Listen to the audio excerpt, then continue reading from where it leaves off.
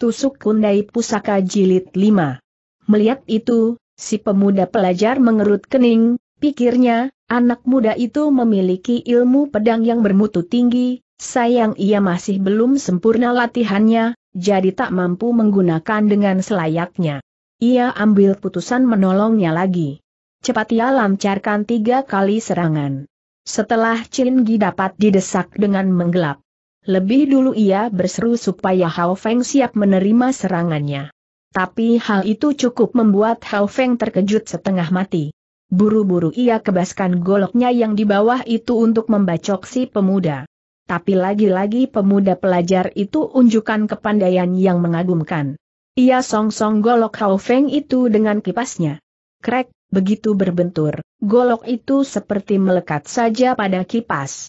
Dan begitu si pemuda pelajar memutar-mutar kipasnya, mau tak mau Hao Feng dipaksa harus melepaskan goloknya. Loh Hao, aku tak mau emasmu lagi, kau pakai sendiri sajalah tiba-tiba kedengaran Hang Chin Gi berseru. Kiranya ia dapat mengenal gelagat. Demi mengetahui pemuda pelajar itu kelewat tangguh. Begitu ada kesempatan ia lantas angkat kaki panjang alias kabur. Hao Feng serasa terbang semangatnya. Karena semangatnya hilang, nyalinya pun pecah. Sudah tentu ia tak dapat menahan pedang Yak BWE lagi. Terang, goloknya pun segera jatuh karena didorong Yak BWE. No, no, demikian sebenarnya ia hendak meratap, Nona, ampunilah jiwaku. Tapi baru mulutnya berseru no, ujung pedang Yak BWE sudah bersarang ke ulu hatinya hingga tembus ke punggung. Teriakan no itu sudah tentu tidak terdengar jelas artinya sehingga si pemuda pelajar pun hanya menganggapnya sebagai teriakan orang yang sudah hampir mati. Setitik pun tidak terkilas dalam pikiran pemuda itu bahwa kata no itu sebenarnya potongan dari kata nona. Ya BWE haturkan terima kasih kepada pemuda pelajar itu. Aku mempunyai si double toko dengan nama tunggal U dan siapakah nama saudara yang mulia ini?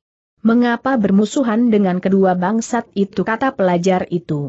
Sembarangan saja Yak BWM memakai sebuah nama samaran, ujarnya, aku sendiri pun tak mengetahui mengapa mereka memusuhi padaku. Mungkin karena hendak merampas harta bendaku. Apakah Suheng tak pernah berkelana di dunia kano? Apakah Suheng membawa sebuah benda pusaka tanya toko pula? Orang bertanya dengan tiada maksud tertentu, sebaliknya Yak BWM malah tertegun.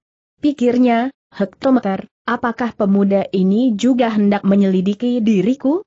Tapi ia dapatkan sikap pemuda itu amat sopan, sedikit pun tak ada tanda-tanda seorang penjahat.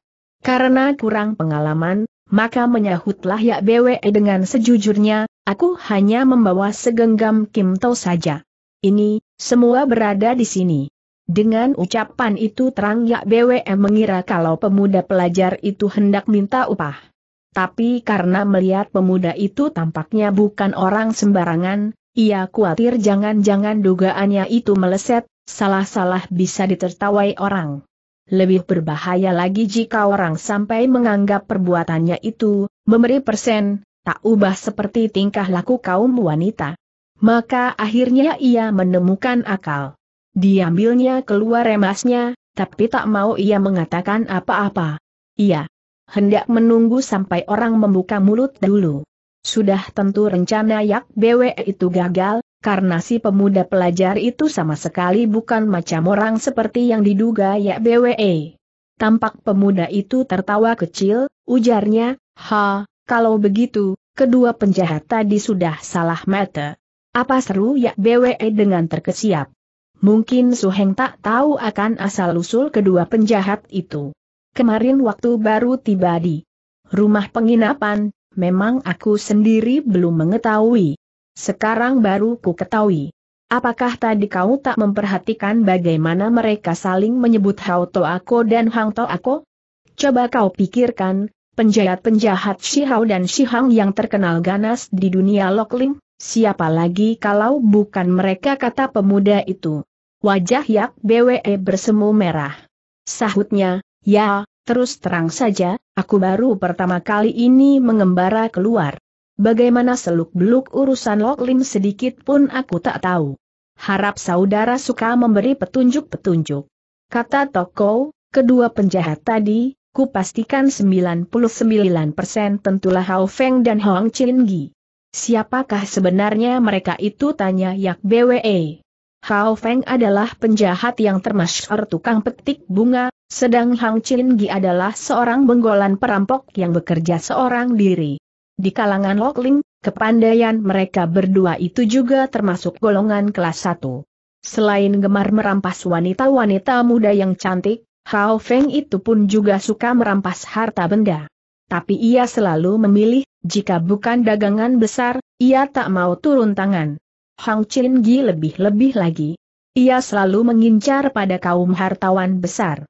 Terhadap yang hanya punya belasan tahil emas saja, ia tak memandang sebelah mata.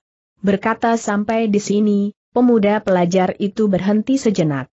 Kemudian, dengan tersenyum ia melanjutkan pula berkata, harap Suheng simpan lagi Kim Tau itu. Memang Kim Tau Suheng itu tidak sedikit jumlahnya, tapi paling banyak hanya berjumlah 10 sampai 20 tahil emas, bukan? Maka tadi telah kukatakan bahwa kedua penjahat itu sudah salah mata. Sekalipun begitu, ada baiknya juga selanjutnya Suheng berhati-hati sedikit emas dan uang jangan sampai diperlihatkan orang agar jangan menimbulkan akibat-akibat yang tak menyenangkan. Misalnya, tindakan Suheng yang begitu royal semalam itu, tak mengherankan kalau dapat menarik perhatian kedua penjahat itu. Kukira mereka tentu menduga bahwa Suheng masih mempunyai barang-barang berharga lainnya. Ha, ha, akhirnya yang satu mati dan yang lain terluka. Sudah sepantasnya mereka mendapat ganjaran itu. Mengetahui bahwa Hao Feng itu seorang penjahat tukang petik bunga, wajah Yak BWM makin merah. Ditendangnya pula mayat Hao Feng itu, serunya dengan geram, kiranya seorang penjahat jahanam. Aku kepingin menusukmu lagi.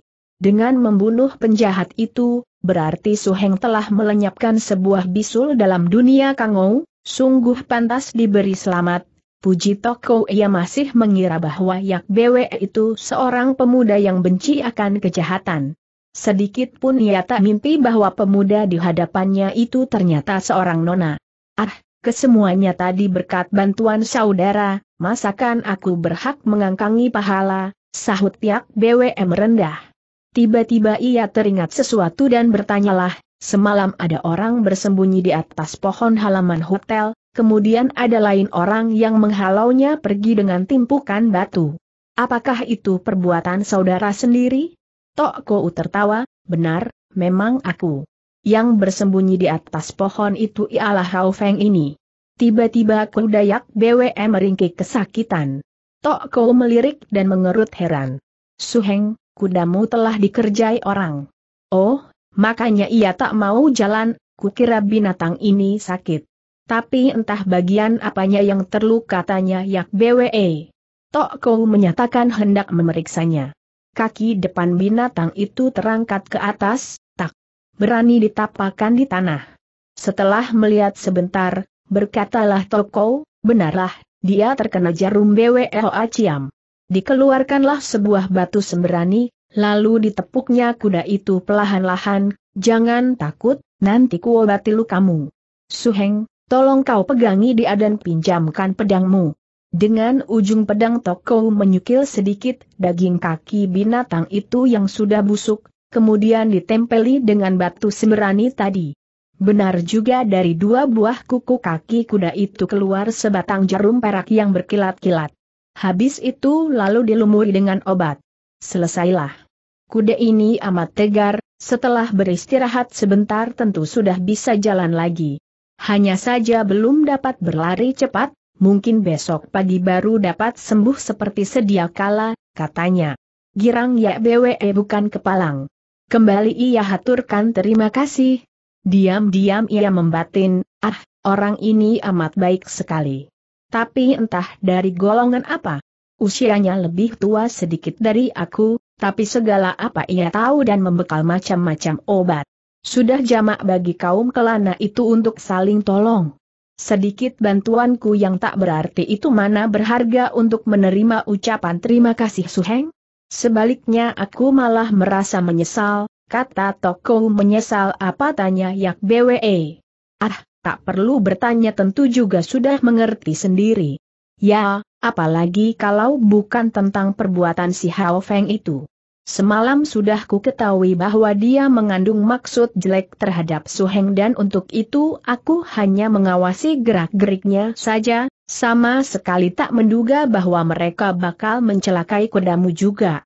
Bukankah ini pantas disesalkan ah, memang tipu muslihat orang di dunia persilatan itu sukar diduga, Yak BWE coba menghiburnya.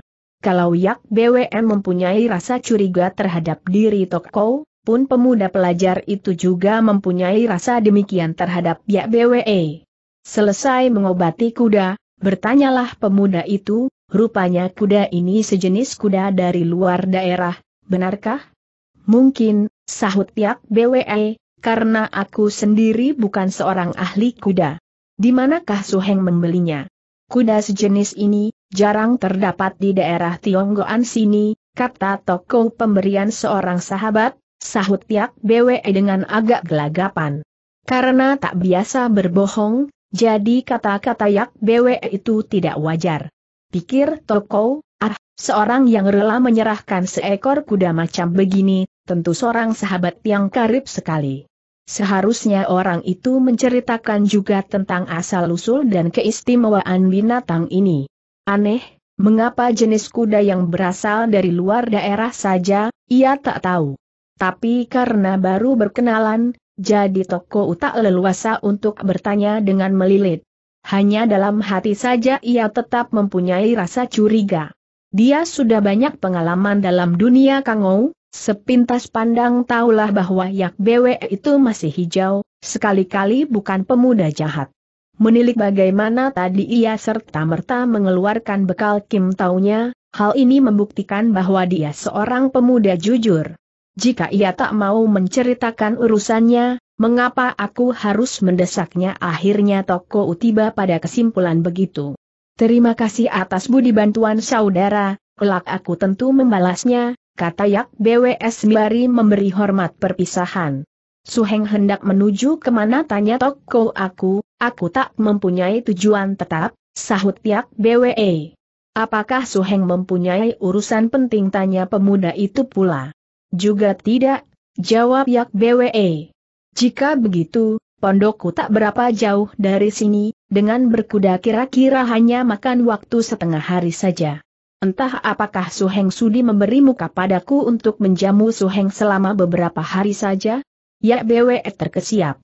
Sahutnya dengan terputus-putus, ini, ini maaf aku tak dapat menerima. Budi kehormatan saudara, namun aku berterima kasih sekali. Apakah Suheng menganggap aku keliwat lancang tanya Toko dengan kurang senang? Bukan, bukan. Tadi aku lupa bahwa aku masih mempunyai sedikit urusan lain. Ya, meskipun bukan urusan penting, tapi harus kulakukan juga. Budi kebaikan Toko Heng tadi, lain hari tentu ku balas.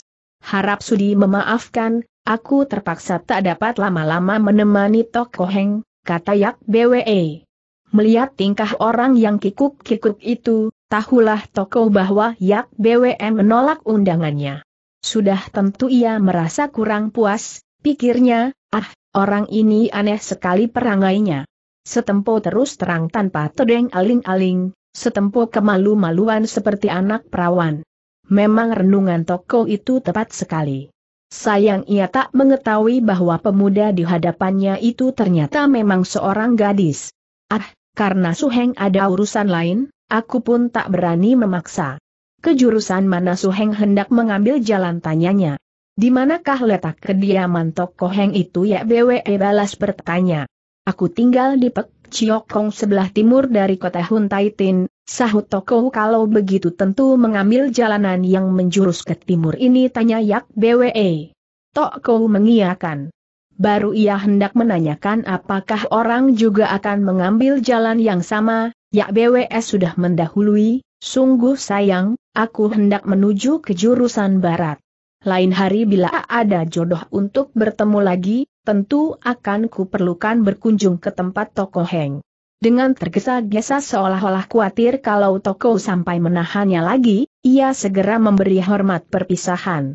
Toko makin kurang senang, batinnya, ah, orang ini benar-benar tak punya rasa persahabatan. Benar ia tak kenal padaku, tapi aku telah menolongnya dari kesukaran. Hektometer, rupanya ia tidak seperti orang Kangou, tapi anehnya kata-katanya begitu cemerlang, ilmu pedangnya bukan olah-olah dan memiliki kuda bagus dari benua barat. Ah, orang apakah ia itu, sungguh membuat orang tak mengerti. Makin merenung, makin besar kecurigaannya. Setelah berjalan beberapa saat, diam-diam ia memotong jalan singkat berganti arah ke sebelah barat. Sekarang mari kita ikuti Yak BWI yang berjalan seorang diri menuju ke sebelah barat itu. Memangnya ia tak mempunyai arah tujuan yang tertentu. Ke mana pun ia bebas lepas. Hanya karena tadi Toko mengatakan hendak mengambil jalan sebelah timur, ia lantas sengaja mengambil arah barat. Jalanan yang menjurus ke barat itu ternyata adalah sebuah jalan kecil yang menjurus ke jalan raya kota Pinglu. Dari kota Pinglu terus menuju ke barat, dapat tiba di kota Tiangan. Baru mencongklang kudanya tak berapa lama, dari belakang tiba-tiba terdengar derap kaki kuda yang riuh. Malah berbareng itu terdengar ada seseorang berteriak, Hai, bangsat kecil, hendak ke mana kau? Ya BWM marah. Ia kira tentu konco-konco Hao Feng yang mengejarnya. Tapi alangkah kejutnya ketika ia berpaling ke belakang. Ternyata yang mengejar itu serombongan tentara Gilim Kun yang berjumlah tak kurang dari 15 orang. Mereka adalah rombongan depan atau semacam perintis dari suatu pasukan Gilim Kun yang besar. Setiap tiba di daerah atau kabupaten, mereka minta diadakan penyambutan. Maka lebih dahulu dikirimlah sebuah regu anak buah Gilim Kun untuk memberi warta pada pembesar setempat agar mereka mempersiapkan penyambutan. Adanya Yak BWM mengambil jalan besar, adalah karena hendak menyingkir dari gangguan bangsa penyamun. Siapa tahu kini ia berpapasan dengan rombongan tentara negeri. Ini berarti lebih besar bahayanya. Sebenarnya pakaian yang dikenakan Yak BW itu cukup mewah, memadai bangsa putra pembesar negeri. Hal itu takkan menimbulkan kecurigaan tentara Gilim Kun itu. Tetapi kuda yang dinaikinya itu adalah kuda tegar yang dipersembahkan oleh Raja daerah Cheng He kepada Kerajaan Tong.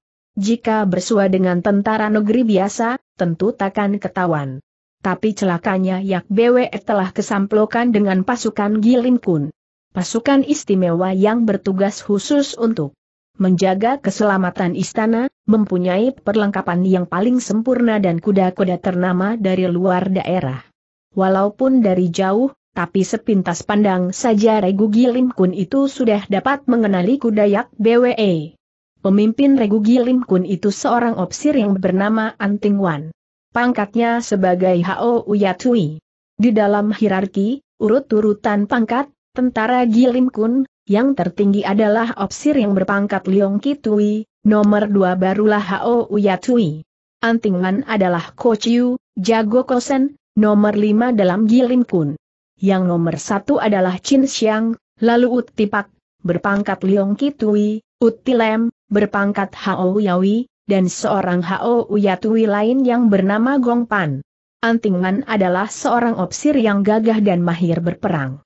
Kaget sekali ketika Antingwan melihat kuda yang dinaiki Yak Bwe itu, serunya, itu dia penjahat Kim Kenia yang lolos dengan acungkan tombak, ia segera pimpin anak buahnya mengejar. Kuda Antingwan pesat sekali, ialah yang lebih dulu tiba. Bentaknya dengan keras, bangsat bernyali besar, berani naik kuda rampasan di jalan besar? Ha, sungguh hebat. Ayo, lekas turun serahkan diri atau tidak?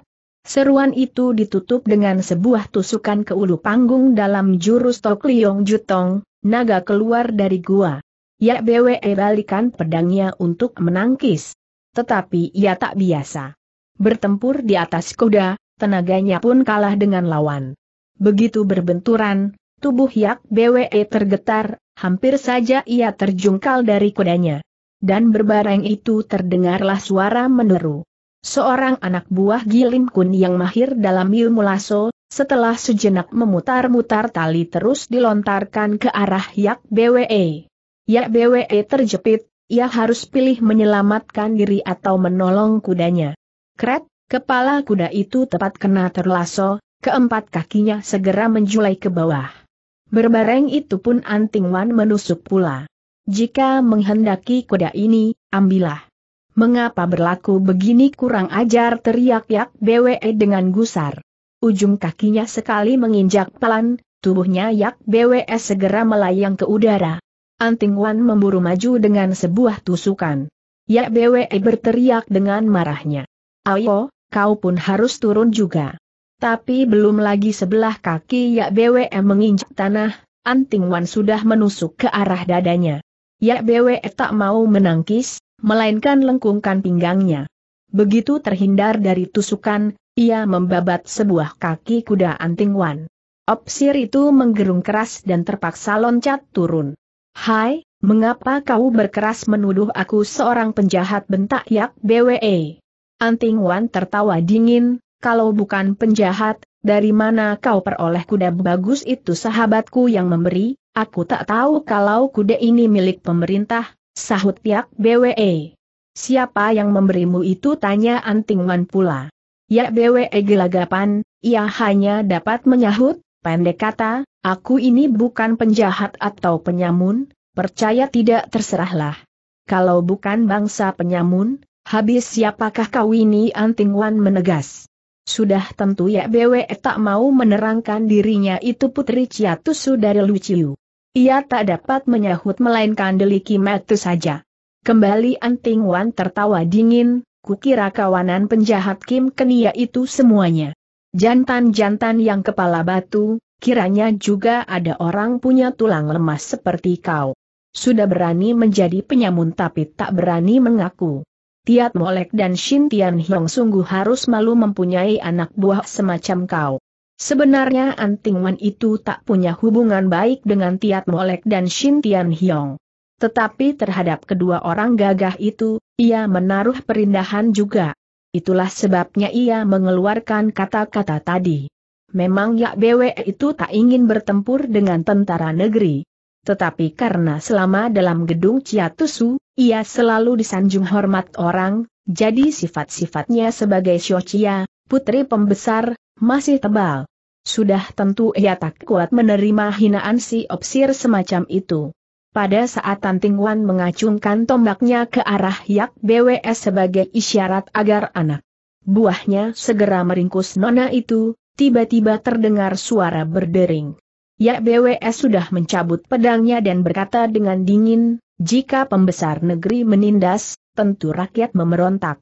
Baik, karena kau berkeras mengatakan aku seorang penyamun, aku sekarang benar-benar menjadi penyamun. Nah, lihat pedangku. Giok Li Tosoh atau bidadari lemparkan tali adalah jurus yang segera digunakan Yak Bwe untuk menusuk si Opsir. Anting Wan mendengus pelahan, pikirnya, kukira seorang penjahat keroco yang takut mati, ternyata ilmu pedangnya boleh juga. Tapi ia bukannya dijeri, melainkan hanya terkejut saja. Sembari berseru bagus, ia segera getarkan ujung tombaknya. Begitu ujung tombak itu berkembang menjadi lingkaran sinar, terus ditusukkan ke dada Yak Bwe dalam gaya Tiong Pingjiang. Yak Bwe tahu kalau lawan bertenaga besar. Ia ambil putusan tak mau adu senjata. Pedangnya segera memutar, tubuhnya pun ikut maju dengan seng pedang. Dengan begitu ia menghindari muka berhadapan muka. Sekonyong-konyong ujung pedangnya disusupkan, menyusul tubuhnya pun ikut menyelinap masuk ke dalam lingkaran sinar tombak. Setelah itu ia gunakan gerak Hang Hang Kanki, burung hang pentang sayap, begitu ujung pedang melekat pada batang tombak, ia segera membentak, lepas, pedang itu digelincirkan untuk memapas jari Anting Wan. Anting Wan adalah seorang perwira yang sudah kenyang pengalaman perang. Dalam keadaan yang bagaimana bahayanya pun ia tak menjadi gugup.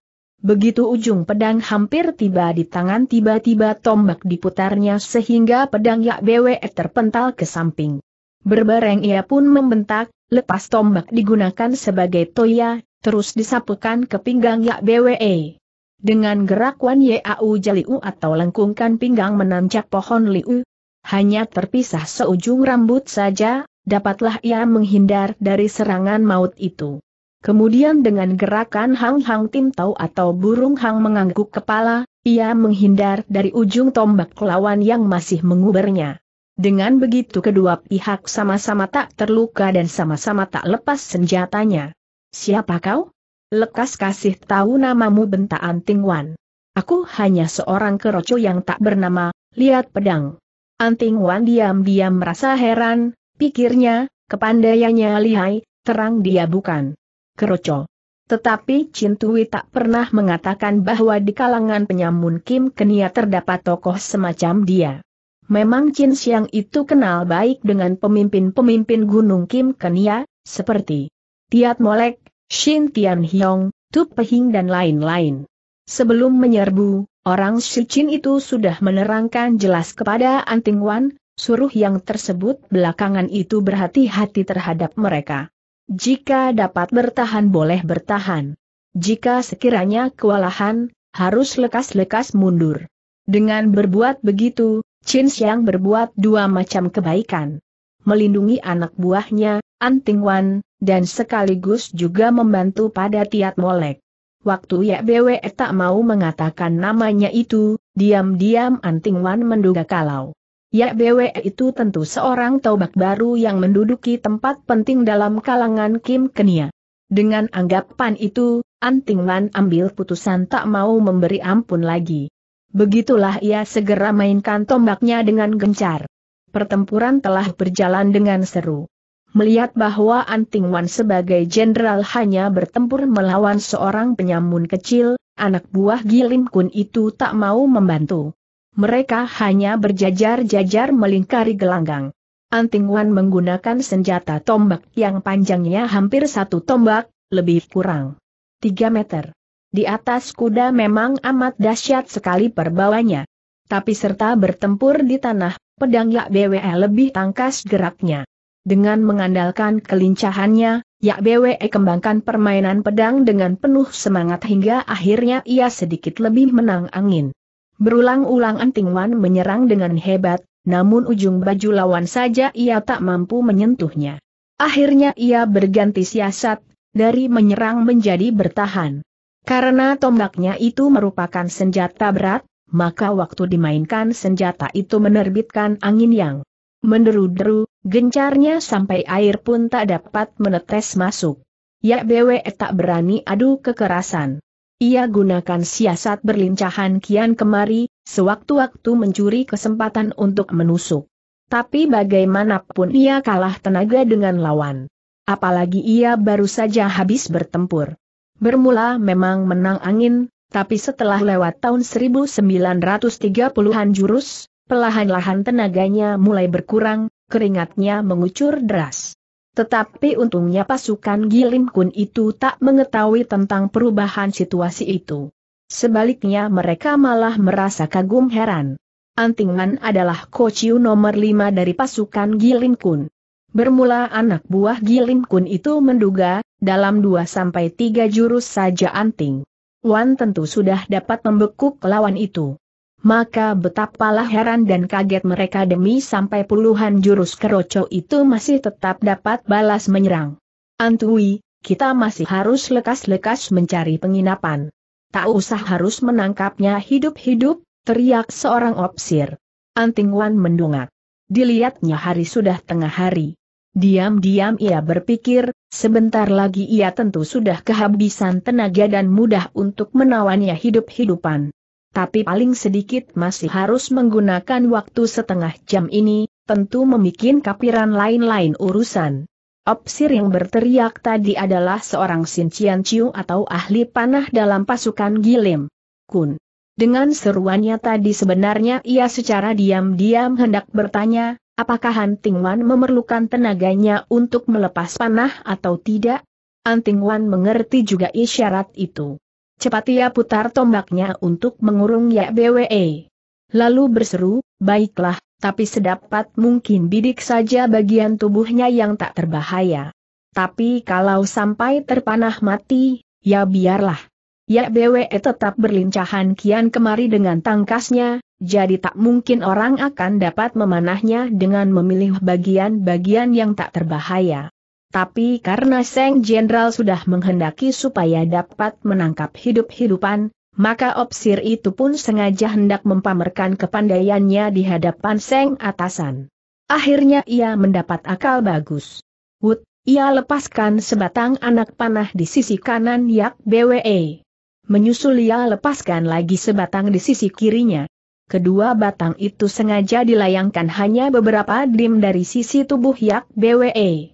Kemudian ia lepaskan lagi anak panah yang ketiga, tapi hanya pura-pura saja karena tali busur saja yang ditarik tapi tak ada anak panahnya. Yak BWE mahir juga dalam ilmu melepas senjata rahasia lian cucian huat. Biasanya ilmu lian cucian huat itu dilepaskan tiga kali beruntun-runtun, yakni diarahkan di sisi kanan, kiri dan tengah. Tadi karena ia bergeliatan menghindari anak panah yang pertama dan kedua, posisi tubuhnya berada di tempat yang sudah diduga oleh musuh. Waktu didengarnya lawan menggetarkan tali busur, ia yakin tentu akan mengarah bagian tengah. Dan untuk itu, ia harus menghindari dengan meloncat ke udara. Tapi dengan cerdiknya si Opsir sudah mendahului lepaskan panahnya setinggi satu meter ke udara. Dengan begitu gerak loncatan dari Yak BWE tadi berarti anjing cari gebuk. Kret, lengannya termakan panah, darah mengucur deras. Menilik kau juga seorang jantan, aku tak mau mengambil jiwamu. Lekas buang senjatamu dan menyerah saja buru-buru Anting Wan menyerukan. Ya BWE kertek gigi dan menyahut geletas, jantan dari Kim Kenia tak kenal kata-kata menyerah. Karena gusar mendapat hinaan tadi, Ya BWE nekat hendak mengadu jiwa. Ia kuatkan diri menangkis tombak Anting Wan. Tapi setelah terluka itu, tenaganya makin lemah, sudah tentu ia tak dapat menangkis dengan jitu. Segera ia rasakan lengannya linu, metu berkunang-kunang dan kakinya lemas. Hampir saja ia tak mampu menahan lepasnya seng pedang. Dalam keadaan begitu, asal Anting Wan memberi tekanan lagi, pedang Yak BWE pasti terlepas jatuh. Dalam saat-saat yang berbahaya itu, sekonyong-konyong terdengar suara benda mendesing. Sebatang pasir melayang, bukan ke arah Yak BWE melainkan menuju ke Anting Wan. Anting Wan terbeliak kaget, pikirnya, ha, Mengapa anak panah dari Hwe Pohu bisa nyasar? Baru ia menghindar, panah yang kedua dan ketiga susul menyusul menyambarnya. Apa boleh buat, terpaksa Anting Wan lepaskan Yak BWE. Ia putar tombaknya untuk menangkis pasar lian cucian itu. Setelah itu barulah ia mengetahui bahwa yang melepas lian cucian itu ternyata bukan si opsir tadi melainkan lain orang lagi. Tiba-tiba dari hutan pohon syong yang terletak di tepi jalan, menerobos keluar seekor kuda tegar. Penunggangnya mengenakan kerudung muka. Begitu keluar ia timpukan dua buah lian cucian. Walaupun hanya dengan tangan, tapi panah itu tak kalah dahsyatnya daripada dilepaskan dari busur. Pun selain keras timpukannya, juga arahnya amat jitu. Untuk melindungi diri, Anting Man putar tombaknya gencar sekali. Namun sekalipun begitu, tak urung ia tetap terkena sebatang panah. Kebetulan sekali mengenai lengannya juga, darahnya mengucur deras, Yak BWM mempunyai kawan sependeritaan. Setelah mengetahui Anting Wan terluka, orang berkerudung itu tak mau mencecernya lagi. Kini ia beralih sasaran. Tujuh delapan batang anak panah ditimpukan ke arah pasukan berkuda. Gilim Kun. Setiap batang tentu membawa korban seekor kuda. Karena terluka, kuda pasukan Gin Lim Kun itu menjadi binal dan mencongklang lari. Ya BWM menjadi terlepas dari kepungan anak buah Gilim Kun. Pemimpin regu panah dari Gilim Kun menjadi murka, serunya, bangsat, jangan kurang ajar. Terimalah panahku. Tapi baru ia bidikan sebuah anak panah, lawan pun melepaskan sebuah pasar untuk membenturnya. Ternyata orang berkerudung muka itu lebih tangkas dari opsir pemimpin regu panah. Si opsir coba akan mengembangkan ilmu bidikan yang disebut lian cucian huat. Tapi baru ia menarik busurnya, terdengarlah bunyi berkertakan. Sebuah pasar dari seorang berkerudung dengan tepat sekali telah menghantam bagian tengah dari busur sampai patah. Dan lebih celaka lagi, si orang berkerudung sudah susuli pasarnya yang kedua yang dengan jitu telah mengenai paha si opsir. Kontan si opsir itu terjungkal. Suheng, lekas lari teriak orang berkerudung itu. Melihat kejadian itu, marah Anting Wan bukan kepalang. Begitu tombak dipindah ke tangan kiri, ia lantas menerjang. Tapi dengan tahan rasa sakit, Yak BWS sudah loncat ke punggung kuda si opsir. Karena anak buah Gilim Kun yang masih belum terluka hanya 6-7 orang saja, sudah tentu tak mampu menahan Yak BWE. Sekejap saja Yak BWS sudah larikan kudanya ikut si orang berkerudung masuk ke dalam hutan. Karena Jerry akan kesaktian ilmu permainan pasar dari si muka berkerudung dan khawatir kalau di dalam hutan bersembunyi barisan musuh, terpaksa Anting Wan menggigit jari saja. Setelah mengumpulkan sisa anak buahnya, ia pun lantas meneruskan perjalanan lagi. Selama membawa Yak BWM menyusup hutan dan kemudian berjalan di sebuah jalan terpencil, orang berkerudung itu tak mengatakan sepatah pun jua. Waktu menengok ke belakang legalah perasaan Yak BWE karena musuh tak mengejar. Tapi berbareng saat itu, luka di lengannya terasa sakit sekali sampai ia mengucurkan keringat dingin. Hampir-hampir saja ia tak kuat bertahan diri duduk di atas pelana kuda. Ia tahan sakit dan hendak mencabut panah yang tertancap di lengannya itu, tapi keburu dicegah oleh si muka berkerudung, jangan, jangan. Mereka hentikan kudanya dan tiba-tiba orang itu tertawa gelak-gelak, Suheng, sungguh tak nyana kita bakal berjumpa lagi, Brett, terus dicabutnya kain kerudung yang menutupi mukanya itu. Hai, kiranya kau teriak-yak BWE dengan kaget. Kiranya si orang berkerudung itu bukan lain ialah pemuda pelajar yang belum lama berpisah dengan Yak BWE, yaitu toko aku tak tahu sama sekali kalau Suheng ini juga salah seorang ksatria Kim Kenia. Maaf, tadi aku telah berlaku tak menghormat. Kata toko dengan gunakan bahasa Kangou yang baru dipelajari bertanyalah Yak BWE, dari golongan manakah saudara ini? Tok Ko tertawa gelak-gelak, sahutnya, aku sebenarnya bukan orang Loklim, tetapi aku gemar bersahabat dengan kaum Enghiong Hokiat. Siapakah orangnya yang tak kenal akan Tiat Molek, pemimpin Kim Kenia itu? Sungguh sayang sekali, sampai sekarang aku belum mempunyai rejeki untuk berjumpa. Kabarnya tentara negeri telah mengadakan serbuan besar-besaran ke Gunung Kim Kenia, Bagaimanakah dengan Tiak Molek? Karena dirinya dianggap sebagai Hohan, orang gagah, dari Kim Kenia, Yak BWM membiarkannya saja. Ia menyahut, Tia Cecu siang-siang sudah dapat meloloskan diri. Karena kepandaianku rendah maka aku tak mampu mengikuti jejak Tia Cecu sehingga aku tercecer dari barisan. Jangan khawatir, Suheng.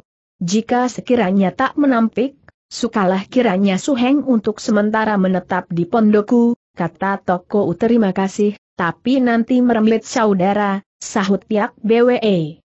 Dulu, kita belum kenal satu sama lain. Tapi sekarang jika Suheng tetap menolak, berarti menghina diriku, ujar Toko ya BWE bimbang hatinya. Sesaat ia tak dapat mengambil putusan. Pikirnya, rupanya orang ini seorang gagah budiman. Tetapi aku seorang gadis, bagaimana bisa tinggal di tempat seorang pemuda yang belum ku kenal? Maka dengan ragu-ragu ia menjawab, kurasa, lukaku ini tak apa-apa, baru ia berkata begitu, lukanya itu sudah mengucur darah pula. Tok kau cepat turun dari kudanya. Nih, aku membawa obat Kim Jong Jok. Obatilah dulu lukamu itu, baru kita nanti sambung bicara lagi, katanya sembari menghampiri terus hendak memondong Yak Bwe turun dari kuda. Sudah tentu Yak Bwe terperanjat sekali. Dengan menahan sakit, ia mendahului loncat sendiri. Hampir saja ia terjerembab jatuh. Tok kau hendak ulurkan tangan menahannya, tapi Yak Bwe cepat-cepat menghindar, serunya, tak apa, tak apa. Tolong berikan obatmu itu padaku, aku dapat mengobati sendiri. Diam-diam Toko heran melihat sikap Ya BWE. Masakan seorang Hohan dari Loklim begitu pemaluan sikapnya. Tapi ia segera dikejutkan dengan gerak-gerik Yak BWE. Karena sudah hampir setengah jam lengannya tertancap panah, kucuran darah telah membasahi bajunya. Dengan tahan sakit Yak BWE merobek bajunya itu dan terus hendak mencabut anak panah. Jangan, Suheng. Harus dicuci bersih dengan air dulu, dilumuri obat dan dibungkus kain pembalut paling sedikit lewat satu malam, setelah nanti darahnya berhenti mengucur baru boleh panah itu dicabut. Jika sekarang dicabut, darah tentu mengalir tak berhenti. Dikuatirkan darah itu mengandung racun. Obatku Kim Jong Jok ini pasti tak dapat menolong apa-apa.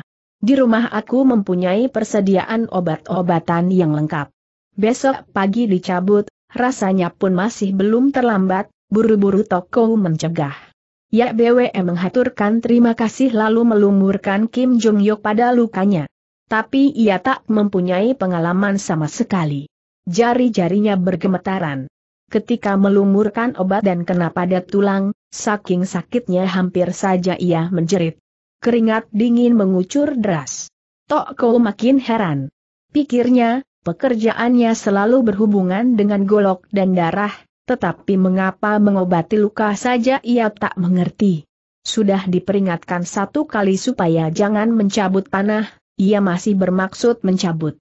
Dan sampai pun care untuk melumuri obat juga tak tahu. Sungguh mengherankan bahwa di dunia Loklim terdapat seorang Hohan seperti dia. Tetapi ketika melihat Yak BWM menahan kesakitan hebat, Tok Ko tak tega melihat saja dan lagi-lagi ia bermaksud hendak membantunya melumuri obat. Ya BWE tengah asyik melumurkan obat sambil tundukan kepala. Ia tak mengetahui kalau toko sudah menghampiri ke sampingnya. Pun terdorong oleh rasa kasihan, tanpa bilang lebih dulu, toko terus sulurkan tangan untuk memapahnya. Waktu tubuhnya serasa dijamah tangan orang, kejut tiap BWE bukan kepalang. Serentak timbul juga reaksinya sebagai seorang gadis. Cepat ia mendorong dan berteriak, mau apa kau? Karena gerakan itu, bungkusan obat yang dipegangnya pun turut jatuh ke tanah. Tok Ko terbeliak kaget, Suheng, aku mau membantumu, kau ini bagaimana sih? Waktu tampak yang datang itu Toko, tahulah ya BWE akan maksudnya. Wajahnya segera berubah kemerah-merahan. Ia paksakan tertawa, aku sudah melumurinya, terima kasih. Mana, biar ku bantu balutkan, kata toko tak usah, tak usah, aku sendiri bisa, ya bewe goyangkan tangannya. Keheranan toko makin bertambah besar, batinnya, aneh benar orang ini. Dia lebih pemaluan dari seorang Toa Shocia. Ya BWM robek secari kain bajunya lalu membalut lengan kirinya yang terluka itu tapi ia tak mengerti caranya membalut luka. Ia malang melintangkan balutnya, hingga tak keruan bentuknya. Tok ko kerutkan alis. Beberapa kali ia bermaksud hendak ulurkan bantuan, tapi selalu mundur teratur karena sikap Ya BWE yang janggal itu. Pada zaman kerajaan Tong masa itu, masyarakat tak terlalu terkekang dengan adat istiadat pergaulan. Pergaulan antara wanita dan pria agak bebas adalah karena Yak Bwe itu dibesarkan sebagai Siocia, Nona, keluarga pembesar, ibu kandungnya sendiri pun berasal dari keluarga terhormat. Maka watak perangainya pun berbeda dengan gadis kebanyakan. Terhadap pria yang belum dikenalnya, ia tak berani bergaul terlalu rapat. Justru karena sifat-sifatnya yang berbeda dengan kaum gadis umumnya, Tok tak bercuriga kalau ia itu seorang gadis pada umumnya kaum wanita, terutama wanita Kangou, sewaktu mendapat luka tentu tak menolak mendapat bantuan kaum pria. Tok anggap ya BW itu seorang pemuda yang berwatak aneh saja. Diam-diam ia kurang senang tapi sungkan untuk mengatakannya. Setelah dibalut dan beristirahat beberapa saat, tenaga ya BWM mulai timbul sedikit. Ia paksakan diri untuk naik ke atas pelana kudanya. Suheng, kau perlu beristirahat baik-baik. Harap jangan sungkan lagi, beristirahatlah untuk sementara hari di rumahku, kata Toko pula. Sudah tiga kali ini, ia menawarkan jasa baiknya. Waktu ya BWM masih meragu, Toko sudah berkata lagi, sejak dari perjalanan di sini. Seterusnya di mana-mana tentu terdapat tentara negeri. Taruh kata kau mempunyai urusan penting yang harus dikerjakan, namun kiranya tak leluasa untuk melanjutkan perjalanan. Kau seorang diri dan dalam keadaan terluka pula. Jangankan anak tentara negeri, sedangkan setiap orang pun tentu akan mencurigai dirimu. Ya BWM mengakui kebenaran ucapan itu, namun ia tak dapat mengambil keputusan dengan segera. Pikirnya, pemuda ini rupanya seorang bangsa Hiap Gi, orang gagah budiman. Dalam keadaan seperti sekarang, apa boleh buat aku terpaksa harus memenuhi ajakannya. Rasanya orang ini tentu takkan berbuat jahat terhadap diriku. Karena tokoh yang begitu sungguh hati mengundang, biarlah ku tebakan muka untuk menerimanya. Ah, sungguh bikin repot kau saja dan kemungkinan juga akan merepotkan dirimu, akhirnya Yak BWM menerima juga. Jawab tokoh, harap Suheng jangan cemas. Desa kediamanku itu terpencil di tempat pegunungan sunyi. Orang luar pasti tak menaruh perhatian. Hanya saja aku sedikit mengkhawatirkan. Apa yang kau khawatirkan tukas Yak BWE? Karena menderita luka, mungkin Suheng akan susah naik kuda. Lebih baik kita boncengan saja, naiklah di kuda sini, kata toko jantung Yak BWM mendebur lagi, pikirnya, Mungkinkah ia sudah mengetahui diriku lalu mengandung maksud buruk? Tapi demi menilik sikap pemuda itu amat sopan dan bersungguh-sungguh, ia membantah dugaannya yang tidak-tidak itu sendiri. Ia merenung sejenak lalu menyahut, walaupun lenganku terluka, tapi kalau kau bukan kesatria dari Kim Kenia, tak nanti aku mau gubris padamu. Sekalipun ia coba membuat gagah ucapannya, namun sikapnya tetap tak wajar. Tok Ko menggerutu dalam hatinya, coba kalau kau bukan ksatria Kim Kenia tak nanti aku mau gubris padamu. Kuatir kalau kesamplokan dengan tentara negeri. Tok Ko mengambil sebuah jalanan kecil di tepi gunung. Jalan di situ berlekuk-lekuk, orang naik kuda sekalipun juga akan peringisan. Dengan tahan rasa sakit, Ya BWE tetap mempertahankan diri naik kuda sendiri. Untung kediaman toko itu hanya terpisah jarak tahun 1940-an li. Tak berapa lama, tibalah sudah mereka di desa kediaman Toko. Kediaman toko itu terletak di bawah puncak Pekhonia, depan rumah ada sebuah empang teratai dan keduanya tepinya dikelilingi oleh pohon-pohon liu. Atap rumah merah yang menonjol di antara hutan berwarna hijau itu, sungguh seperti pemandangan dalam sebuah lukisan. Alangkah indahnya tempat ini, seperti sebuah taman Firdaus di luar dunia, Yak BWM memuji. Ah, Suheng itu tak mirip seorang loklim tapi lebih mendekati seorang seniman, Tok Ko tertawa. Pujian Suheng itu lebih menggirangkan hatiku sebagai tuan rumah. Aku tentu akan minta Suheng untuk tinggal lebih lama di sini. Tengah mereka bicara itu, muncullah seorang darah berlari-lari keluar. Masih jauh darah itu sudah berteriak, Koko, kau sudah pulanglah. Tapi serta melihat Toko membawa seorang pemuda yang terluka lengannya, darah itu terkesiap. Toko tertawa menerangkan bahwa ia membawa seorang sahabat. Kemudian ia memperkenalkan, ini adalah Su Cheng Tu, nama samaran yang dipakai Yak BWE dan ini adalah adik perempuan Kutoko Ing Suto Ako ini sungguh seorang tetamu yang jarang kita jumpai. In Moai, tolong kau melayaninya baik-baik. Hai, Suto Ako, mengapa kau terluka itu tanya Toko Ing tiba-tiba Toko berkata, Moai Moai, tentu kau akan gembira. Huh, mengapa kau malah senang melihat orang lain terluka Toko Ing mengomelinya. Bukan itu yang kumaksudkan, melainkan aku hendak menuturkan tentang riwayat soto aku. Harap kau jangan mencampur adukan. In Moai, bukankah kau pernah mengatakan bahwa kau hanya kagum kepada tiga tokoh dalam zaman ini kata tokoh ya, benar. Yang satu Tiat Molek, yang kedua Bos Sekiat dan yang ketiga Toan Hiksia, kata tokoh Nah, begitulah, Suto aku ini adalah sahabat baik dari ketiga tokoh itu. Ia adalah salah seorang Hohan dari Kim Kenia, Ujar Toko memang hubungan Sekiat dan Hiksia dengan Tiat Molek itu sudah diketahui oleh kaum Bulim. Oleh karena itu walaupun Ya Bwe tak mengatakan kalau ia kenal dengan kedua pemuda itu, namun dengan spontan, serentak, Toko yakin Yak Bwe tentu mengenalnya. Dan ini terang mengangkat diri Yak Bwe di mata, Toko Ing tertawalah Yak Bwe menyahut, aku hanya seorang keroco dari Kim Kenia, mana dapat digolongkan sebagai sahabat dari ketiga tokoh itu? Oh, mengertilah aku. Kabarnya beberapa hari yang lalu tentara negeri telah mengadakan sergapan ke Kim Kenia. Bukankah kau terluka kenapa nah mereka tanya Toko Ingah, iya barusan saja terluka itu, sahut Toko ia lantas menceritakan tentang pertemuannya dengan Yak BWS waktu sedang bertempur dengan pasukan Gilim Kun. Hai, Koko, kau ini memang keterlaluan juga.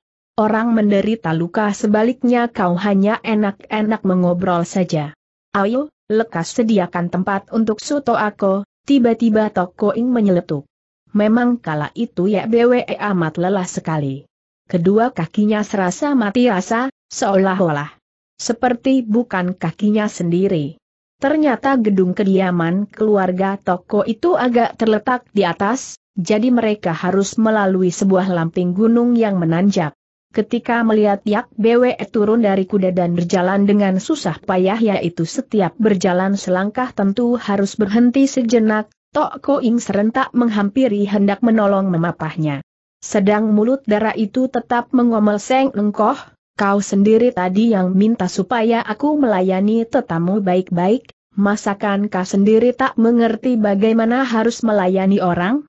Walaupun dalam hati Yak Bwe benci kepada Hiksya, tapi entah bagaimana, kepada orang yang memuji sang tunangan itu, ia merasa senang sekali. Apalagi Tok Ing itu seorang darah. Seketika lupalah Yak Bwe bahwa dirinya pada saat itu sedang menjadi seorang pria. Bukan hanya membiarkan saja Tok Ing menggandeng tangannya, pun karena letihnya ia lantas menggelondoti tubuh Seng Darah tersentuh dengan hangatnya tubuh Yak Bwe dan membawahi harum dari napas dan rambut Yak Bwe, seketika mendeburlah darah Toko Ing tapi ia seorang darah yang lapang dada. Didiamkannya perbuatan pemuda itu, dengan wajah tenang ia tetap menggandeng tangan Yak Bwe untuk diajak masuk ke dalam rumah.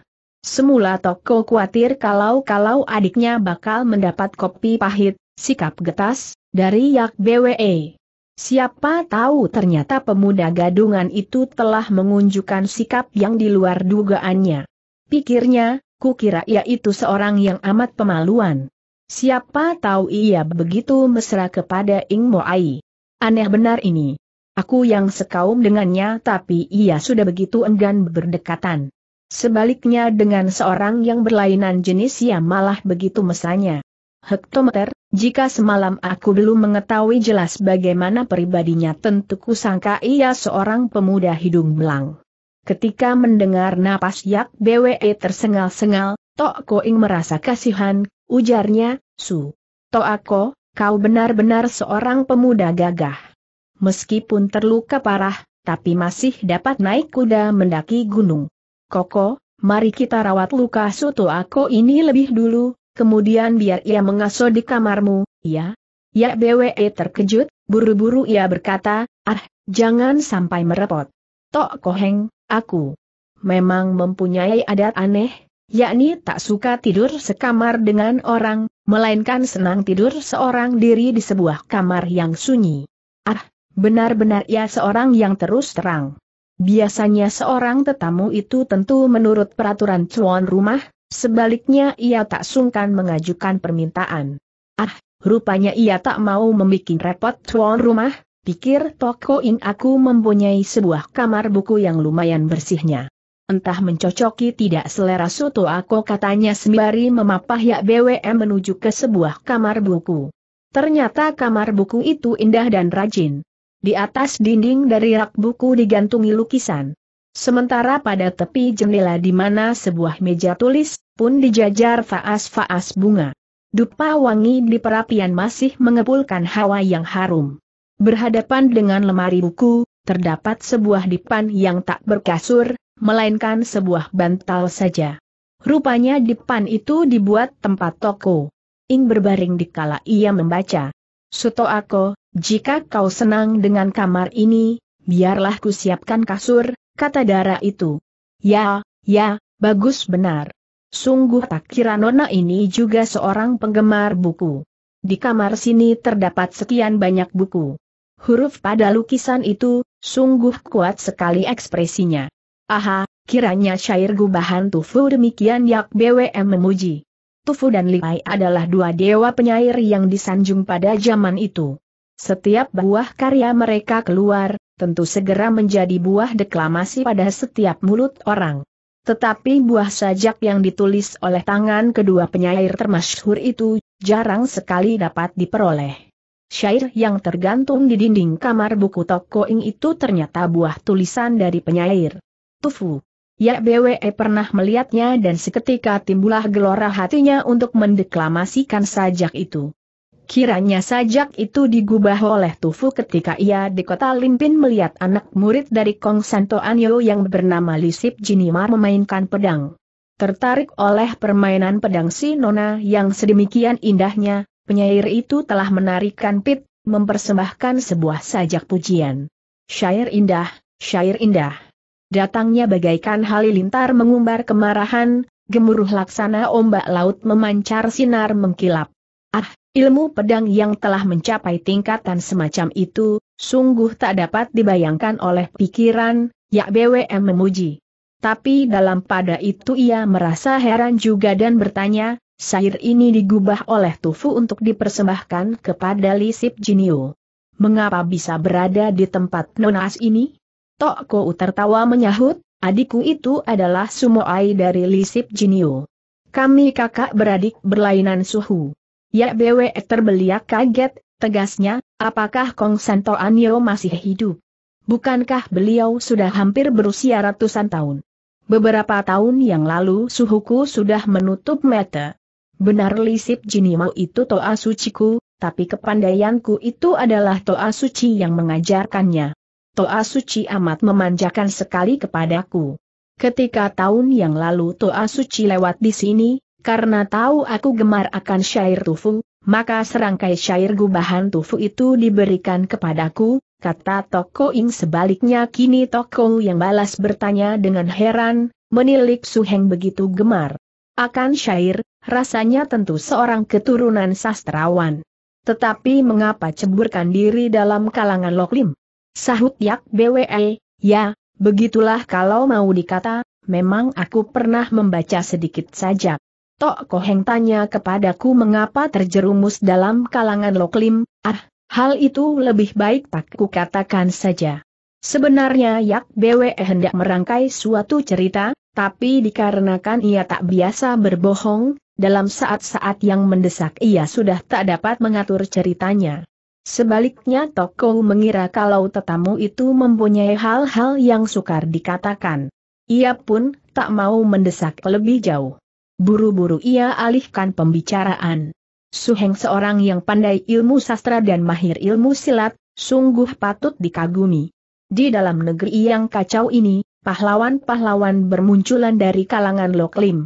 Mengapa Suheng mengatakan terjerumus? Habis berkata kembali Toko membatin, ah, kiranya ia seorang pendatang baru di dunia Loklim, makanya ia begitu hijau sekali sedikit pun tak menyerupai seorang penjahat, tetapi lebih mirip dengan seorang sastrawan. Dalam pada itu, datanglah seorang pelayan membawa kasur.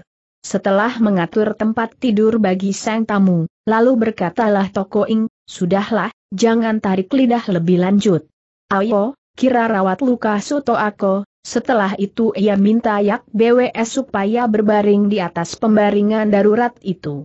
Dalam hal kerjaan, seorang anak perempuan itu tentu lebih teliti. In Moai, untuk mengobati luka Soto Ako, aku terpaksa harus minta bantuanmu, kata Toko hati Toko In tergetar. Ia tundukkan kepala tapi tiba-tiba mulutnya pecah tertawa, huh, Koko, rupanya kau cerdik juga karena tahu diri. Aku pun tak mau mempersalahkanmu. Tuh, lihatlah, apa-apaan caramu membalut luka orang begitu macam. malang melintang tak keruan, sampai lengan soto aku menjadi seperti buah semangka saja. Merahlah wajah Yak BWM mendengar itu, katanya, aku sendirilah yang membalutnya, Tok Ko Ing sudah terlanjur mengata-ngatai, walaupun likat tapi terpaksa ia tertawa juga. Memang anak lelaki itu kebanyakan tak dapat mengurus diri sendiri. Suto aku, tidurlah, biar kulumuri obat pada lukamu. Darah dari luka Yak BW itu sudah mengental dan melekat pada pakaiannya. Tok Koing menanyakan kalau-kalau Yak BWM membawa ganti pakaian. Dalam buntalanku itu terdapat dua setel pakaian yang baru kemarin ku beli, entah cocok tidak ukurannya, kata Yak BWE. Kau tak tahu bahwa soto aku itu royal sekali. Kedua setel pakaiannya itu dibelinya dengan memakai biji emas, Tok Ko tertawa. Ia menuturkan peristiwa semalam yang terjadi di rumah penginapan. Suto Ako, kau balikan tubuhmu lah, biar ku lepas bajumu. Koko, tolong ambilkan semangkuk. Air hangat, kata Toko Ing nyata darah itu hendak mencuci luka ya BWE dengan air hangat, baru kemudian dilumur obat dan dibalut. Sebaliknya wajah Yak BWM menjadi merah.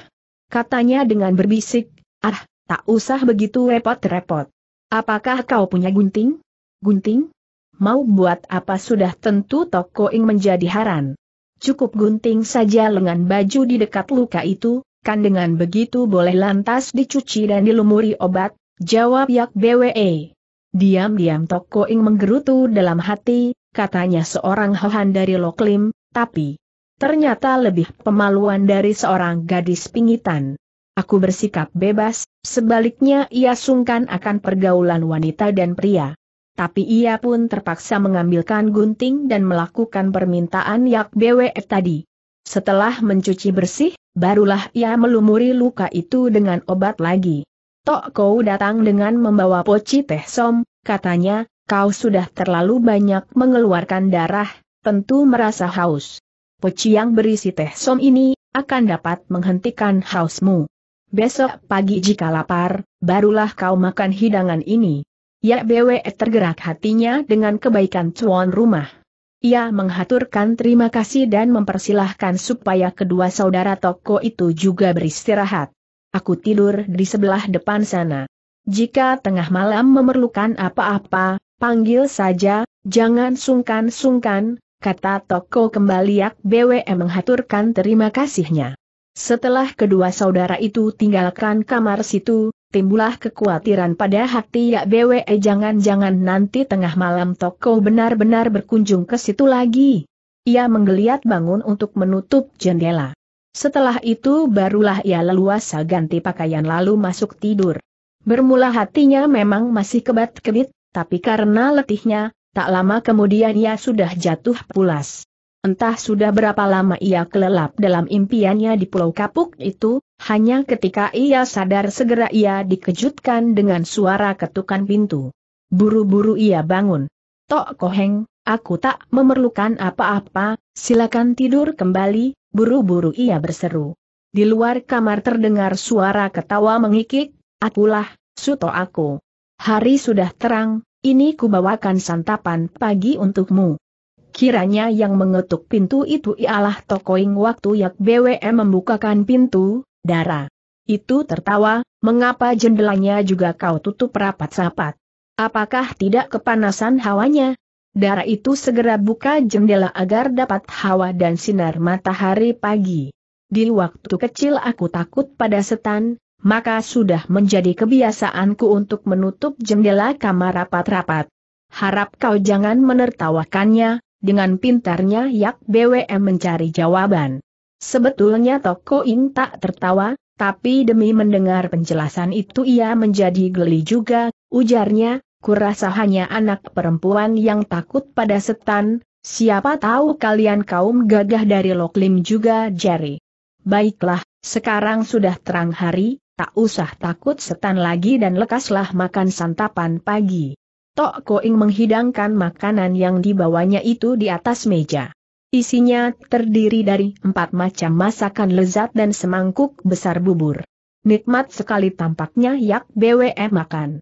Masakan ini masak sendiri, Ku khawatir jangan-jangan kau tidak doyan, kata Toko Ingyak BWE tertawa dan berkata, Nona Toko benar-benar serba pandai. Pandai sastra, mahir ilmu silat dan ahli masak. Entah siapakah di kemudian hari yang beruntung. Wajah Tokoing merah jengah lalu cepat-cepat menyelanya, Suto Ako, apa katamu kini barulah ya BWE gelagapan dan sadar bahwa dirinya sedang menjalankan rol sebagai seorang pemuda. Buru-buru ia telan kembali separuh ucapannya yang sedianya berbunyi. Menyunting darah jelita yang cerdik cendekia itu. Cepat ia tertawa meringis dan mengalihkan haluannya. Mungkin usiamu tak terpaut banyak dari aku, tapi segala apa kau dapat mengerjakan, sebaliknya aku tak mengerti apa-apa. Terus terangku katakan, aku sungguh ingin seperti dirimu katanya.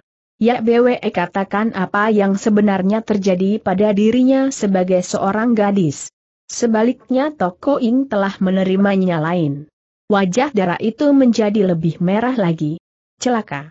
Aku salah omong lagi, Ya BWE mengeluh dalam hati, menyaru jadi anak lelaki, kiranya bukan hal yang mudah. Buru-buru ia tundukkan kepala dan menghirupi bubur untuk menutupi perubahan kerut. Wajahnya Selama beberapa saat kemudian, barulah ia mendongak lagi. Demi melihat sorot mata, Toko Ing yang ditujukan kepadanya itu tak mengandung kemarahan, legalah perasaan Yak BWE. Suto Ako, kau masih terlalu merendah diri. Kaulah yang pantas disebut seorang Bun Bucoan Kai, pandai sastra dan ilmu silat, tiba-tiba Toko Ing berkata dengan tersenyum. Kesempatan itu telah digunakan Yak BWE untuk mengalihkan persoalan, katanya, dulu hanyalah Lipai itu saja yang ku ketahui suka bergaul dengan kaum Hiapsu, orang gagah, dan mengerti ilmu pedang. Kini setelah melihat Tufu mempersembahkan syairnya kepada sucimu, barulah terbuka mataku bahwa beliau, Tufu, itu seorang ahli pedang juga yang jempol, Bagaimana kau ketahui ia seorang ahli tanya Toko Ing kalau tidak masakan ia dapat melukiskan permainan pedang sucimu itu sedemikian indahnya balas Yak BWE. Toko Ing tertawa, menurut pendapatku, Tufu tak mengerti ilmu pedang tapi tahu menikmatinya. Ya, memang begitulah. Tahu menikmati, itulah juga seorang ahli, sahut Yak BWE. Suto Ako, Kenal baik aku dengan Toan Hiksia tiba-tiba Toko Ing mengajukan pertanyaan. Jantung Yak BWE berdetak keras dan tanpa terasa wajahnya bersemu merah. Sahutnya, tak begitu akrab. Mengapa kau tanyakan hal itu? Tadi ketika kau katakan bahwa Lipai itu gemar bergaul dengan kaum Hiapsu, teringatlah aku.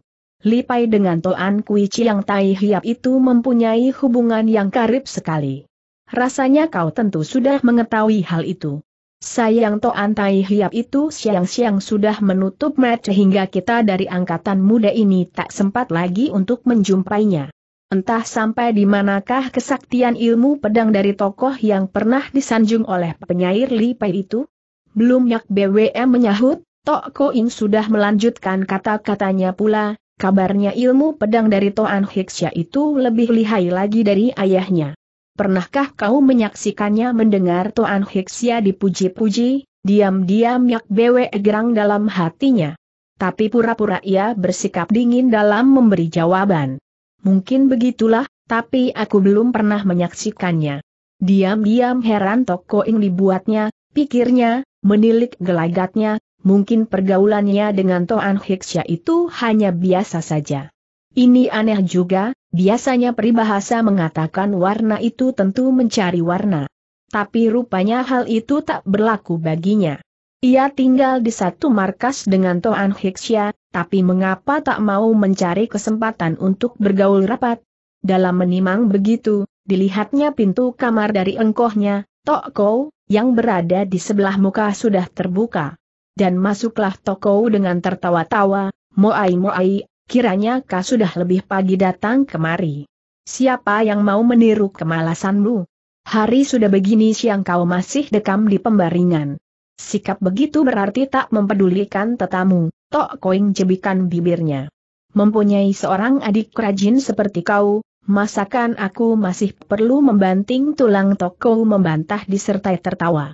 Mendengar dalam nada ketawa engkohnya itu mengandung sesuatu yang dalam artinya, tanpa terasa berdebarlah hati Toko Ing bagaimana Suto Ako, apa sudah baikan tanya Toko ya BWE mengiyakan, ya, sudah banyak baik. Lihat, aku sudah makan begini banyak. Ya, sekarang bolehlah anak panah itu dicabut. In Moai, kau cermat dan tangkas mencabut panah di lengan Suto Ako nanti lagi-lagi mesti minta tolong padamu, kata Toko Utoko Ing tahu bahwa Seng Engkoh memang sengaja supaya ia bergaul rapat dengan pemuda cakap itu. Ia pun sungkan menolaknya, Koko, kau memang cari enak saja, segala apa suruh aku yang mengerjakan. Baiklah, tapi kau pun harus bekerja sedikit. Harap kau sediakan obat-obat yang akan dipakai. Siang-siang aku sudah menyediakannya, sahut Toko ya BWM merasa tak enak hatinya, Nona Toko, aku sungguh banyak merepoti kau saja, Toko Ing tertawa, Suto aku, aku hanya bergurau dengan Koko, harap kau jangan menaruh di hati. Kau adalah sahabat baik dari Koko, kau terluka dan sudah seharusnya aku merawati, In Moai, kau seharusnya berterima kasih juga kepadaku, Toko menggoda. Terima kasih. Jangan ngaco teriak Toko Ingya, terima kasih karena ku bawa soto aku kemari. Kau belajar pedang pada sucimu, tetapi selama ini tak ada lain orang yang mengujimu. Suto aku adalah seorang ahli pedang yang jempol, nanti kau boleh banyak belajar padanya, kata Toko bermula Toko Ing khawatir kalau Seng Koko akan menggodanya lebih lanjut, tapi mendengar keterangan itu, ia bergirang hati. Dengan hal itu dapatlah ia lebih banyak mendekati Ya BWE. Ya, benar, memang aku pun mempunyai hasrat begitu. Mudah-mudahan suatu aku lekas sembuh, sahut toko engkau adalah murid kesayangan Kong Santo Anio, akulah yang selayaknya mengangkat guru padamu. Mengapa kau begitu sungkan padaku kata Yak BWE? Ai, janganlah kalian berdua saling sungkan. Begitu nanti soto aku sudah sembuh, kalian boleh saling uji kepandaian, agar aku pun dapat menikmati, Tok Kong menengahi. Walaupun kurang pengalaman, namun Yak Bwe tahu juga akan gelagat, sikap dan ucapan orang.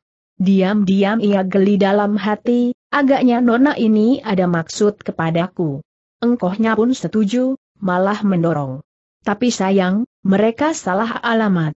Ya BW khawatir kalau sampai rahasianya ketahuan oleh kedua kakak beradik itu. Tapi setelah mendengar pembicaraan kedua saudara itu, ia merasa lega. Walaupun geli, tapi ia merasa terhibur juga. Begitulah dengan hati-hati sekali Toko mulai mencabut panah yang mengeram di lengan. Ya BWE. Karena kepalanya menunduk, rambut si darah pun terurai jatuh ke muka Ya BWE. Begitu dekat sehingga keduanya sama mendengarkan denyut napas masing-masing. Pipi si darah makin merah dan berbisiklah ia, sakitkah, Suto aku? Tidak, terima kasih, sahut Tiak BWE. Tok Koing merasa bahagia. Ia mempunyai perasaan yang sukar dilukiskan. Padahal pujian Yak BWE itu bukan karena sungkan, melainkan benar-benar Tok Koing itu seorang darah yang cekatan. Setelah mencabut panah lantas melumuri obat. Ya BW tak merasa sakit dan amat berterima kasih kepada darah itu. Sejak itu, berhari-hari boleh dikata Toko Ing tak pernah berpisah dengan Yak BWE. Sebaliknya Toko jarang kelihatan. Hubungan Yak BWE dengan Toko Ing makin akrab. Luka Yak BWE itu sebenarnya memang tak berat. Mendapat perawatan istimewa dari Toko Ing, sembuhnya amat cepat. Pada suatu hari ketika bangun, Yak Bwe coba gerak-gerakan lengannya. Ternyata sudah pulih seperti sedia kala. Tok Koing merasa girang, serunya, Suto Ako, dalam beberapa hari ini tentu kau merasa kegerahan. Mari, kuantar jalan-jalan ke kebun bunga. Ya, Suto Ako, nanti kau boleh memberi petunjuk tentang ilmu pedang padaku. Kala itu adalah pada permulaan musim semi. Ketika YBW ikut Toko Ing ke dalam kebun bunga, dilihatnya bunga-bunga sama mekar. Taman di situ tak seberapa besar, tapi diatur indah sekali. Di sana sini tampak batu-batu berjajar, pagoda tempat peristirahatan dan jalanan-jalanan yang melingkar-lingkar. Setiap kuntum bunga, setiap batang pohon dan setiap gunduk baru diatur dengan sangat serasi. Apabila orang berjalan-jalan di dalam taman tampaknya mirip dengan orang di dalam lukisan. Sudah beberapa hari Yak Bwe terkurung di dalam kamar. Berada di dalam taman yang seindah. Itu, seketika longgarlah perasaannya, semangatnya nyaman segar. Dasar Yak Bwe itu seorang nona rupawan, dalam keadaan riang gembira, ia kelihatan makin cantik lagi. Ketika keduanya lewat di empang teratai, permukaan empang itu muncul sepasang muda-mudi yang cakap. Tok Koing mengawasi lukisan yang terpantul dalam permukaan air itu, lalu berpaling memandang pemuda cakap yang berada di dampingnya itu. Pikirannya melayang-layang, ia benar-benar seorang pemuda yang serba cakap. Tak nyana bahwa dalam dunia loklim terdapat seorang tokoh semacam dia. Poaan yang disanjung orang sebagai tokoh Harjuna, rasanya belum tentu lebih tampan seperti dia. Nona Toko, apakah yang sedang kau pikirkan tiba-tiba Yak BWM menegur sambil tertawa. Tok Koing tersentak kaget dan buru-buru menyahut, aku menimbang-nimbang akan minta kau mengajarkan ilmu pedang, entah maukah kau? Mana aku berani unjuk kepandaian jelek. Lebih baik Nona yang bermain dulu, kata Yak BWE. Baiklah, karena kau baru sembuh, bolehlah beristirahat dulu, biar aku yang memulai, Tok Koing mengiyakan. Setelah mencabut pedang, Nona itu memutar tubuh. Sinar pedangnya tampak mengembang seperti untayan tali. Selanjutnya waktu pedang tergentak, mirip dengan gerak burung kuntul yang tersentak kaget, lincahnya seperti naga bermain. Gerakannya menimbulkan angin dingin yang menderu-deru hingga bunga-bunga sama bertaburan jatuh terbawanya. Benar-benar hebat, indah, dan mempesonakan. Ya BWE bertepuk tangan memujinya dan mulutnya segera mendeklamasikan syair tufu yang menyanjung puji keindahan ilmu pedang lisip jinimau itu. Tok Koing menghentikan permainannya. Dengan setengah girang setengah ailman, ia berseru, ilmu pedang suciku mungkin dapat disejajarkan dengan syair pujian itu. Tetapi aku, mana bisa memadai. Aku belum pernah melihat permainan pedang sucimu. Tapi menyaksikan permainanmu tadi saja, mataku sudah berkunang-kunang dan semangatku serasa terbang ya bewe tertawa. Mulutmu itu hanya pandai merangkai kata-kata untuk menyenangkan hati orang saja. Koko mengatakan, Permainan pedangmu itulah baru tepat disebut sakti. Aku sudah mengunjuk permainan jelek, masakah kau masih tak mau memberi pelajaran Toko Ing mengomel? Ya BWE juga terpikat semangatnya. Sebenarnya ia pun ingin mengunjukkan kepandaiannya. Katanya, sebenarnya tak ingin aku mengunjukkan diri, tapi khawatir mulutmu yang lancip itu akan berhamburan, maka terpaksa aku akan menuruti juga. Nona Toko, biar ku beri jurus umpan padamu, tapi harap kau menaruh kasihan. Aku mempunyai cara bermain yang baru. Kita masing-masing berdiri tiga tombak jauhnya, kemudian saling melontarkan serangan. Dengan begitu kita dapat menghindari salah melukai. Kita boleh keluarkan seluruh kepandaian masing-masing. Nah, bagaimana kata Toko Ingyak BWE tahu kalau Nona itu masih menguatirkan dirinya yang baru saja sembuh. Diam-diam Yak Bwe berterima kasih akan Nona yang bijaksana itu. Ya, silahkan memulai lebih dulu, katanya. Sebagai tuan rumah, Tok Koing tak mau sungkan lagi. Segera ia lancarkan jurus Giokli Tosoh atau bidadari lemparkan tali. Untuk itu Yak BWM menyambut dengan jurus Totopoli atau lemparkan buah To membalas buah pir. Ah, Suto Ako, kau terlalu banyak peradatan. Jangan sungkan-sungkanlah, seru Toko Ing tertawa. Memang jurus Toto Poli itu, mengandung maksud menghaturkan terima kasih atas kebaikan tuan rumah dan menyatakan hendak membalas budi. Kini Toko Ing kisarkan langkah dan menderu-derulah pedangnya. Sikapnya itu mirip seperti orang yang bertempur secara merapat dan jurus yang dilancarkan itu adalah jurus serangan yang lihai untuk melukai musuh. Ganas betul seru Yak Bwe dengan tertawa. Ia pun mengisar ke samping dan bolang-balingkan pedangnya. Sekali seng ujung kaki berputar, ia kembali ke tempatnya yang semula. Bagus, indah benar tangkisanmu itu Toko Ing berteriak memuji. Keduanya dengan tetap terpisah pada jarak tiga tombak, saling menyerang. Keduanya sama mengeluarkan jurus-jurus permainan pedang yang istimewa. Sekalipun terpisah jauh, tapi mereka sama bermain dengan sungguh-sungguh, seperti orang yang bertempur mati-matian. Dan justru karena terpisah itu, keindahan gerak permainan mereka dapat kelihatan dengan jelas. Dalam sekejap saja mereka sudah bertempur sampai tahun 1930-an jurus. Ya BWM merasa heran demi melihat wajah Toko Ing seperti orang melamun. Pikirnya, saat ini sudah menginjak detik-detik yang meruncing. Mengapa ia tak pusatkan perhatian dan seperti orang melamun? Awas serangan ini cepat ia membentak. Pedang cengkong kiam diguratkan ke udara. Begitu ujungnya tergetar, sinar pedang segera berubah menjadi berkuntum-kuntum rangkaian bunga. Jurus itu disebut Hut Kong Boh Chiao, sinar Buddha memancar luas. Jurus ini merupakan jurus yang paling lihai dari ajaran ilmu pedang Bian Hui Sini. Tok Ko Ing tersentak kaget. Ia mundur sampai tiga langkah. Tiba-tiba ia berseru, Hati-hati, serangan ini. Tubuhnya melambung ke udara, pedangnya berkembang menjadi sebuah lingkaran untuk mengurung tubuh Yak BWE. Ilmu pedang yang indah mulut Yak BWE meluncur pujian, tubuhnya pun berdiri tegak. Ia ganti permainannya dengan jurus Chiao Tianit Kat Hiang atau menghadap ke langit dengan sebatang dupa. Untuk itu tubuhnya pun turut berputar-putar. Tok Koing melayang ke tanah lagi. Kini keduanya tegak berhadapan. Pedang masing-masing saling ditudingkan tapi tidak melanjutkan serangannya lagi.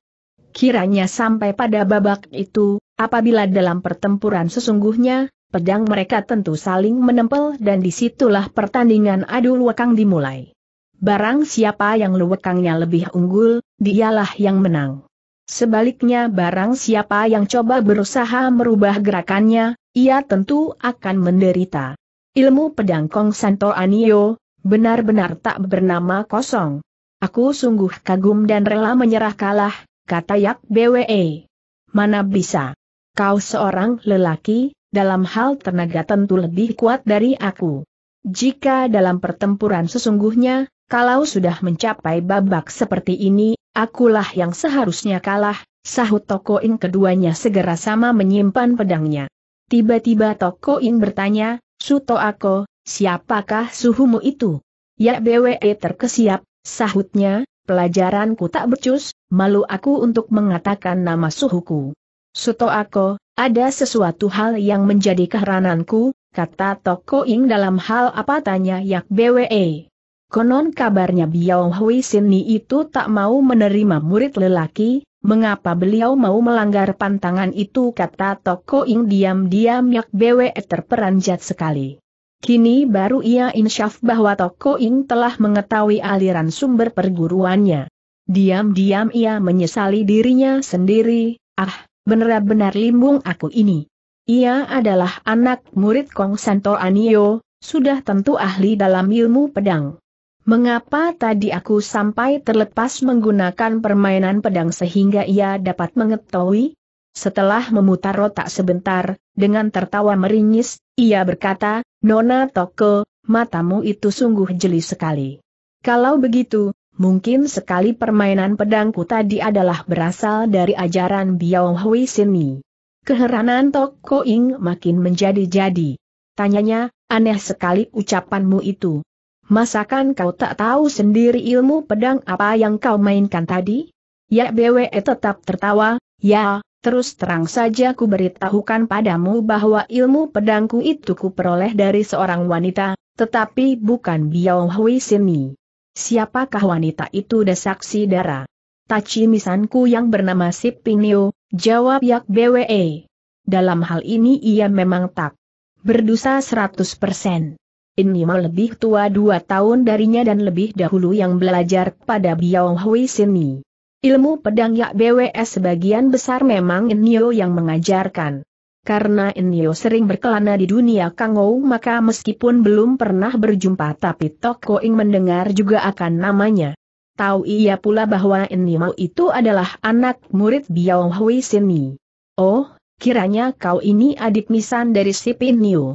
Ah, tak heran kiranya, kata Dara itu dengan tiba-tiba nadanya berubah rawan, hatinya kecewa dan sikapnya berubah tak wajar. Aku adik misannya yang jauh urut-urutannya. Sejak masih kecil ayah bundaku meninggal, maka aku lantas tinggal pada keluarganya belajar ilmu surat. Setempo Piao Chi, Tachi Misan, itu mengajak aku berlatih ilmu pedang. Aku menyaksikan dari samping saja, tapi lama-kelamaan. Aku pun bisa juga. Pernah Piao Chi mengatakan bahwa pelajarannya ilmu pedang itu didapatnya dari seorang rahib tua. Tetapi aku tak tahu kalau rahib tua itu ternyata Biao Hui Sini adanya, Ya BWM memberi penjelasan. Dingin-dingin si Dara berkata, baik benar Piao Cimu itu kepadamu. Ia sampai berani mengajarkan ilmu pedang padamu di luar tahu suhunya. Kabarnya Piao Cimu itu adalah puteri dari seorang Chiang Kun. Tentunya kau enak tinggal di tempat kediamannya, mengapa tega meninggalkannya? Aku tak ingin selama hidupku menjadi benalu, mengandalkan orang. Itulah makanya aku pergi dari rumah keluarga Sip dan berkelana. Tak berapa lama aku berkenalan dengan Taubak dari Kim Kenia. Ku tahu bahwa pemimpin Kim Kenia ialah Tiat Molek itu bukan penyamun biasa. Lalu aku masuk ke dalam perserikatan mereka, kata Yak BWE. Masih dengan nada tawar, Tok Koing mengoloknya, kau mempunyai cita-cita tinggi, tapi tidakkah dengan berbuat begitu berarti kau telah mengabaikan kebaikan Piao Cimmu? Sebenarnya Yak Bwe hendak menggodanya lebih lanjut yaitu akan mengatakan sekali bahwa ia sudah bertunangan dengan Ingrimau tapi demi melihat mata si darah mulai mengembang air mata, ya, tinggal tunggu saatnya saja tentu akan hujan, menangis, ia merasa tak sampai hati. Pikirnya, biarlah nanti kalau diam-diam ku pergi dari sini, ku tinggalkan surat untuk menjelaskan diriku yang asli. Tapi kalau sekarang kau beritahukan siapa diriku ini, rasanya tak leluasa bagiku.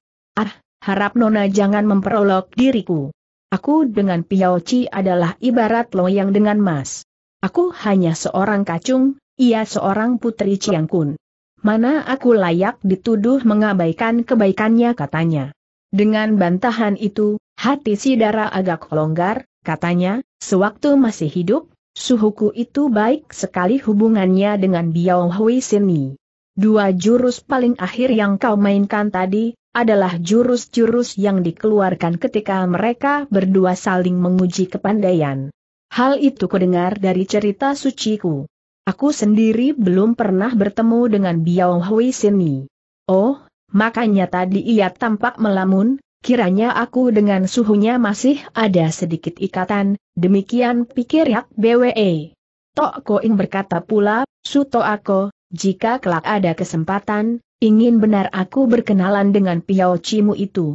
Ah, betapakah senangnya melihat seorang jelita yang memiliki ilmu pedang sakti.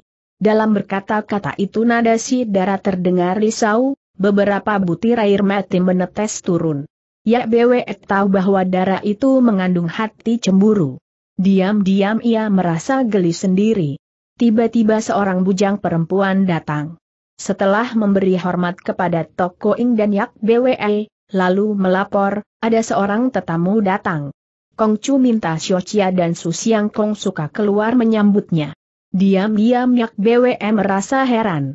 Dan Toko Ing lantas menanyakan siapakah tetamu itu. Seorang lelaki yang bertubuh tegar. Kong Chu memanggilnya Lu Tai Hiap, sahut si bujang. Ai, tak peduli siapa, asal orang Kangou tentu disebut Tai Hiap atau Xiao Hiap, Tok Ko Ing tertawa, Suto aku, mari kita melihat-lihat Tai Hiap itu bagaimana orangnya. Kalau ia, Tok Ko, suruh adiknya turut menyambut tetamunya, itu sih tak mengapa tapi mengapa juga minta aku ikut menyambutnya. Rasanya aku tak kenal dengan orang Shilu itu, pikir Yak BWE. Rupanya Toko Ing tahu apa yang dipikirkan Yak BWE. Ujarnya, Koko itu seorang yang cermat. Kalau ia minta kau keluar menemui tetamu itu, rasanya tentu tak apa-apa. Bermula Yak BWE enggan pergi, tapi mendengar penjelasan si darah itu, ia merasa kalau tak ikut tentu bisa menimbulkan kecurigaan tuan rumah. Apa boleh buat terpaksa dia pun segera ikut. Di ruangan tetamu tampak toko sedang menemani seorang lelaki pertengahan umur. Begitu tampak toko Ing dan Yak BWE datang, buru-buru ia berbangkit. Ini adalah tokoh termasyhur di dunia Kangou, Sin Chian Chiu Lu Hang Jan Tai Hiap. Dan ini adalah Su Cheng Tu Ako dan adikku Toko Ing, kata Toko memperkenalkan mereka satu sama lain. In Moai, pendekar wanita Lu Hang Chiu yang kau kagumi itu, ialah adik perempuan dari Lu Tai Hiap ini, kata Toko lebih lanjut. Ah, aku sungguh tak berani menerima pujian setinggi itu. Kalau berdua kakak beradik barulah pantas disebut sepasang pendekar yang dikagumi orang, buru-buru Lu Hang Jun merendah. Oh, kiranya Sin Chian Chiu Lu Hang Jun, pantaslah kalau mendapat kehormatan disebut hiap, pendekar. Hanya saja sorot matanya itu sungguh memuakan orang, diam-diam Toko Ing membatin. Ya, memang tak salah si Dara mengatakan sang tetamu tidak sopan. Tapi siapakah orangnya yang tak terkesiap melihat kecantikan Dara itu? Pun tak terkecuali dengan Sin Chian Chiu Lu Hang Jun. Sampai dua kali ia memandang lekat-lekat pada Tokoing waktu si Dara melirik kepadanya, buru-buru ia membetulkan tempat duduk lagi. Lain Tokoing, lain penerimaan Yak BWE. Kalau si Dara tak senang dengan sikap si tetamu, adalah Yak BWE terperanjat melihat siapa yang datang itu. Pikirnya, ah, kiranya dia itu engkoh dari Lu Hang Chiu. Celaka, aku pernah berkelahi dengan adiknya, entah apakah engkohnya ini sudah mengetahui jejakku, lalu suruh toko minta aku supaya keluar menemuinya mengapa Leng Moai, adikmu, tak ikut serta tanya toko ing pada tetamunya. Memang biasanya kakak beradik Shilu itu selalu bersama barang ke mana perginya. Itulah sebabnya maka toko ing menanyakannya.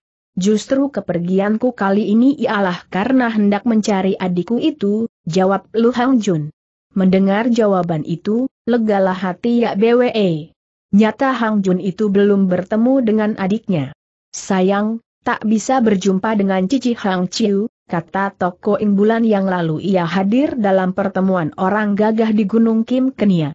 Kabarnya pada waktu itu tentara negeri mengadakan serangan besar-besaran.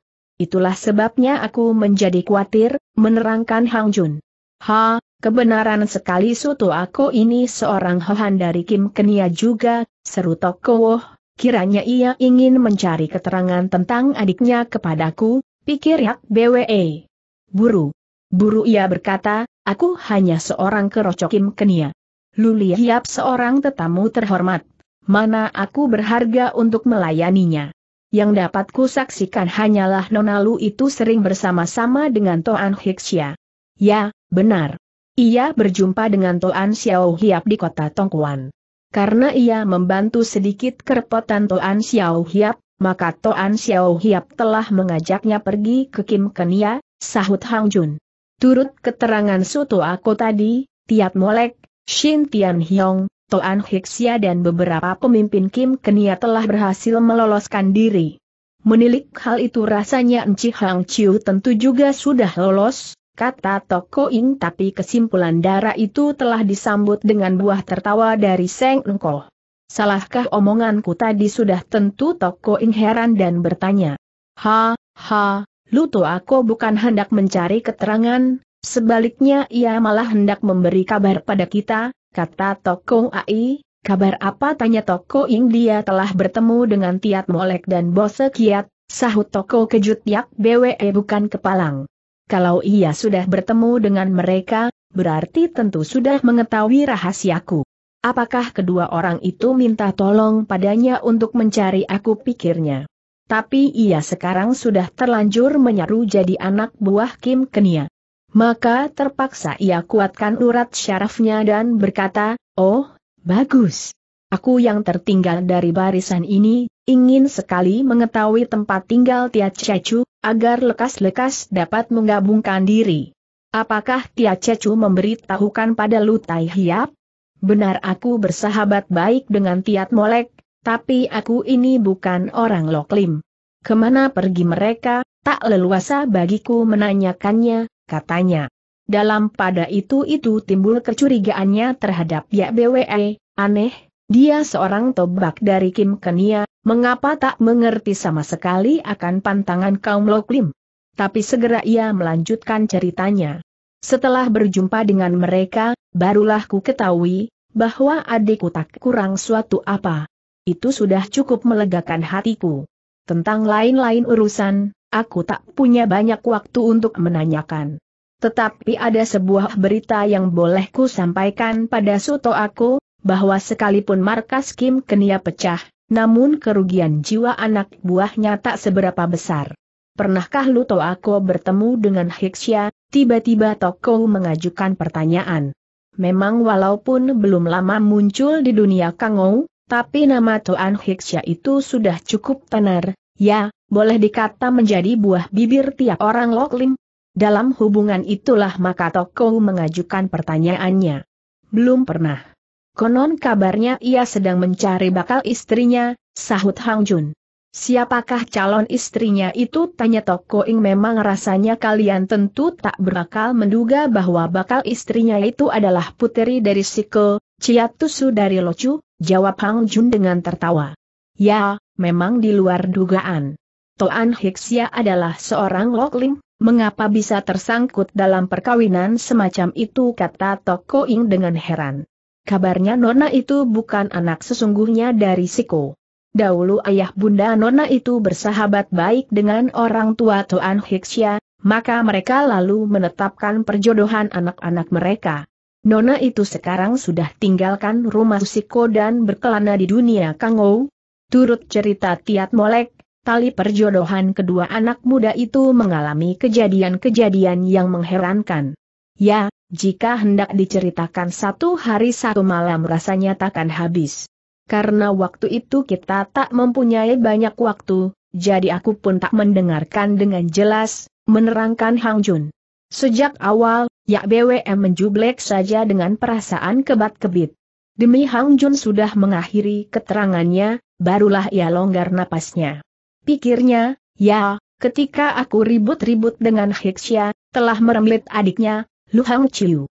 Rupanya Tiato aku dan sekiat sungkan menceritakan padanya. Hiksya mencari aku?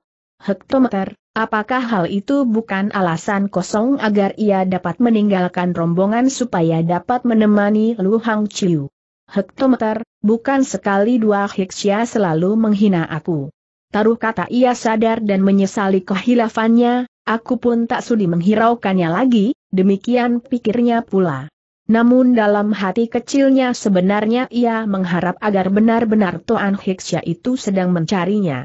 Kedua saudara Toko dan kedua saudara Lu merupakan dua pasang kakak beradik yang terkenal di dunia Kangou, satu sama lain saling mengagumi. Sebenarnya pertemuan dua pasang pendekar kakak beradik itu akan menggembirakan sekali, tetapi sayang Lu Hang Chiu tak ikut serta. Namun hal itu tak mengurangi kegembiraan mereka. Rupanya Toko cocok sekali dengan Hang Jun. Mereka berbicara dengan asik sekali. Masih ada sebuah soal lain yang bagus sekali untuk kalian bertiga dengarkan. Soal itu timbul dari soal perkawinan Toan Hiksia, kata Hang Jun. Kembali Yak BWE terkesiap kaget dan buru-buru menanyakan hal itu. Bukankah tadi telah kukatakan tentang cerita Tiat Molek mengenai pernikahan Toan Hiksya itu? Pada waktu itu tiba-tiba Tiat Molek berhenti bercerita. Ini bukan melainkan karena panjangnya cerita yang dibawakan itu, pun karena ia sedang memikirkan suatu hal lain. Hal itu ia minta tolong akan bantuanku. Dengan mereka aku hanya berbicara selama dua jam. Kuatir waktunya tak cukup, maka Tiat Molek terpaksa menunda cerita tentang Toan Hiksia dan mengganti dengan lain cerita yaitu tentang pernikahan dari seorang lain lagi. Ternyata Toko Ing itu gemar sekali mengetahui tentang urusan pernikahan orang. Maka, cepat-cepat ia menanya, urusan pernikahan siapakah yang hendak dimintakan bantuan pada Lutai Hiap itu? Bos sekiat, sahut Hang Jun. Hal itu juga tak kurang menariknya. Ya, entah bagaimana secara kebetulan terdapat persamaan dengan pernikahan Toan Hiksia. Gadis yang menjadi idaman sekiat itu juga puteri dari seorang Ciangkun kerajaan. Walaupun kedudukan Ciangkun itu tak setinggi Sekcia Tusu, tetapi juga tak seberapa terpautnya. Ha, Luto aku, jangan main teka-teki, terangkanlah siapakah gadis itu Toko Ing mendesak. Ialah puteri dari Siphang, berpangkat Tin Siusu dari Pok Ong Seng. Dalam dunia Kangou nama nona itu sudah tak asing lagi, yaitu Sipin Niu. Meskipun Sipin Niu itu putri seorang Chiang Kun, tapi ia lebih banyak berkelana di luaran, jadi juga termasuk golongan putri Kangou, sepadan dengan diri Bose Kiat, kata Toko tetapi bagaimanapun kenyataannya ia itu putri seorang Chiang Kun dan sekiat khawatir kalau Chiang Kun itu tak menyetujui pernikahan putrinya. Mendiang ayahku bersahabat baik dengan Sip Chiang Kun, malah pernah berbuat suatu kebaikan kepada Chiang Kun itu. Tiat Molek tahu akan hal itu, maka ia lantas mendapat akal minta tolong aku supaya menjadi orang perantaranya. Coba kalian pikir, bukankah hal itu cukup menarik tanya Hang Jun? Hebat, Sungguh menarik sekali entah apa sebabnya Toko Ing serentak berseru girang. Hai, mengapa kau begitu kegirangan atas pernikahan orang lain Toko menjadi? Keheranan melihat sikap adiknya yang kurang layak itu. Sudah tentu ia tak mengetahui bahwa di dalam taman bunga tadi adiknya itu telah minum cuka alias cemburu kepada si Pinyo. Ya, memang Dara itu tak mengetahui bahwa dirinya dibohongi oleh Yak BWE yang begitu pandai merangkai cerita. Ia cemburu pada Inyo yang diduganya tentu ada hubungan dengan Yak BWE. Bahwa ternyata kekasih Inyo itu adalah sekiat, sudah tentu membuat toko Inggirang setengah mati. Harapannya untuk merebut kasih si pemuda cakap Yak BWE, menjadi besar. Menarik sih cukup menarik. Tetapi akulah yang runyam. Pertama, aku tak mempunyai pengalaman menjadi comblang. Kedua kali, sejak mendiang ayah menutup mata aku berdua dengan adikku berkelana di dunia Kangou, setitik pun tak ada minat menginjak lantai gedung kaum pembesar lagi. Dengan begitu hubungan kami dengan keluarga Sip sebenarnya sudah lama terputus, kata Hang Jun. Tok Ko Ing buru-buru menganjurkan, ah, lu Tok Ako, itu adalah suatu perbuatan mulia sekalipun menghadapi rintangan kiranya tak seharusnya kau mundur. Ah, memangnya tidak sukar. Paling banyak hanya gagal sebagai comblang saja, sahut Hang Jun. Tok Ko tertawa, In Ai, dalam urusan pernikahan ini rupanya kau begitu ngotot seperti Tiat Molek dan Bos Sekiat sendiri. Tiba-tiba Tok Ko In teringat sesuatu, serunya, Hai, Suto Ako, kau adalah adik Misan Sipin Niu. Agar Luto aku mendapat sukses dalam tugasnya nanti, lebih baik kau ceritakan tentang kegemaran nonasib itu. Lu Hang Jun tertegun, ujarnya, kiranya Suto aku itu adik misan dari Sipin Niu. Kalau begitu ku serahkan saja tugasku kepada Suto aku. Bukankah itu lebih leluasa? Jangan begitu ah. Suto aku justru diam-diam tinggalkan rumah keluarga Sip, kalau pulang tentu kurang enak dan lagi ia pernah muda, jadi tak leluasa terhadap Sip Chiang Kun, cepat-cepat Toko Ing menyanggapi. Ia lalu menuturkan cerita yang dirangkai oleh Yak Bwe di dalam taman bunga tadi. Kiranya darah itu mempunyai maksud tertentu. Sebelum pernikahan Sipin Nio berlangsung dengan sekiat, ia tak menghendaki pemuda Yak Bwe itu bertemu muka dengan Inyo. Habis mendengar penuturan Toko Ing, timbullah rasa curiga dalam hati Hang Jun. Tetapi ia tak mau mengatakan. Hanya saja matanya selalu memperhatikan gerak-gerik BWE. Karena khawatir rahasianya akan ketahuan, buru-buru Yak BWE memutuskan ocehan Toko Ing, ujarnya, si Pai Upehku itu seorang yang lapang dada, perangainya pun penurut. Jika berhadapan padanya, lebih baik jangan mengajukan tentang urusan pernikahan itu lebih dulu. Tetapi banyak-banyaklah menceritakan tentang perbuatan mulia dari bos sekiat selama ini. Setelah si Piao Peh mempunyai kesan baik, barulah kau bicarakan urusan selanjutnya. Ai, Tiat Molek juga menasihati aku begitu. Malah ia menambahkan bahwa Sip Hang itu seorang yang setia akan budi dan perbuatan mulia. Mendiang ayahku pernah melepas budi padanya, dirasa ia tentu suka mendengarkan kata-kataku, kata Hang Jun. Bagus, kalau begitu lekaslah laksanakan tugas itu, seru Toko In Ai, mengapa kau mendesak orang begitu rupa? Untung Luto aku itu bukan orang yang sempit dada, kalau tidak ia tentu mengira kau seperti hendak mengusirnya, Toko menegur Seng adik. Ah, memang sudah lama mengobrol di sini, sudah seharusnya aku pergi, kata Hang Jun. Mendapat teguran Seng Koko, Tok Koing merasa tak enak. Buru-buru ia mencegahnya, Luto aku, mendengar kata-kataku tadi kau lantas mau pergi. Bukankah itu menandakan kau sempit dada? Duduklah sebentar lagi dan ceritakanlah kepada kami tentang beberapa peristiwa yang menarik di dunia Kangou. Semula Toko Ing tak menyukai Hang Jun, malah ia merasa jemu melihat sikap anak muda yang pelintat-pelintut suka melirik muka orang itu. Tapi setelah mengetahui kalau Hang Jun hendak menjadi orang perantara dalam pernikahan sekiat, Inyo, sikapnya lantas berubah 180 derajat. Dari tak suka menjadi suka. Sebaliknya melihat sikap yang manis dari darah itu, entah bagaimana, nyamanlah rasanya perasaan Hang Jun. Sungkan juga ia untuk pergi dan terpaksa duduk lagi. Masih ada lagi sebuah berita. Kabarnya setelah pulang ke Tiangan, Chin Xiang, itu panglima dari pasukan Gilim Kun juga berniat hendak mengadakan Eng Hiong Hwe. Katanya, niatnya itu timbul setelah ia mengetahui tentang pertemuan orang gagah di Gunung Kim Kenia. Rencananya itu mengandung maksud untuk menampung sekalian orang gagah dalam dunia Kangou agar jangan sampai terjerumus dalam kalangan Lokling, kata Hang Jun. Sekarang ini kekuasaan berada di dalam tangan para panglima daerah kerajaan dalam keadaan gelap. Bagi kaum Kangou yang menjunjung cita-cita luhur, sukar rasanya mau bekerja untuk kerajaan, demikian Tokoh memberi pandangannya. Mungkin tidak demikian kenyataannya. Turut pendapatku, kini kaum persilatan dapat digolongkan dalam empat kategori, golongan.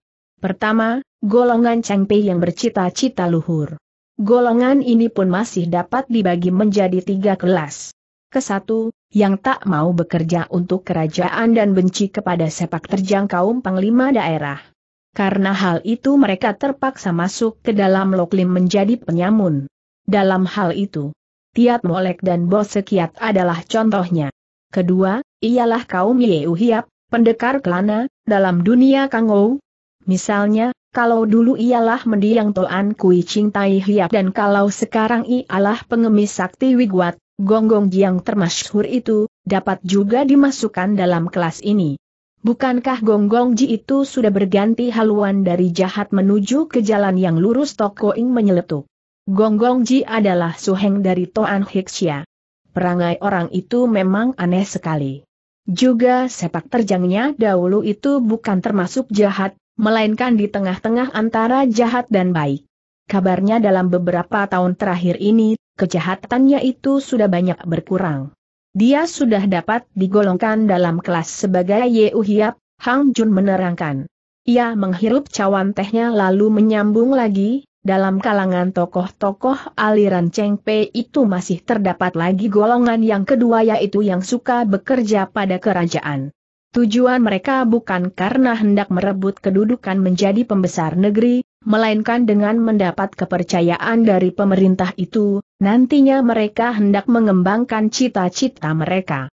Mungkin juga mereka itu hendak membantu pihak kerajaan untuk melucuti kekuasaan kaum panglima daerah. Turut yang ku ketahui, dalam pasukan Gilim Kun, tak sedikit jumlahnya tokoh-tokoh seperti itu. Misalnya, opsir yang pernah bertempur dengan Suto Ako, yaitu Anting Wan, adalah juga dari golongan itu. Tok Ko tertawa, ya, memang ku tahu sebelum masuk ke dalam pasukan Gilim Kun, An, Ting Wan itu seorang tokoh Hiap Gi.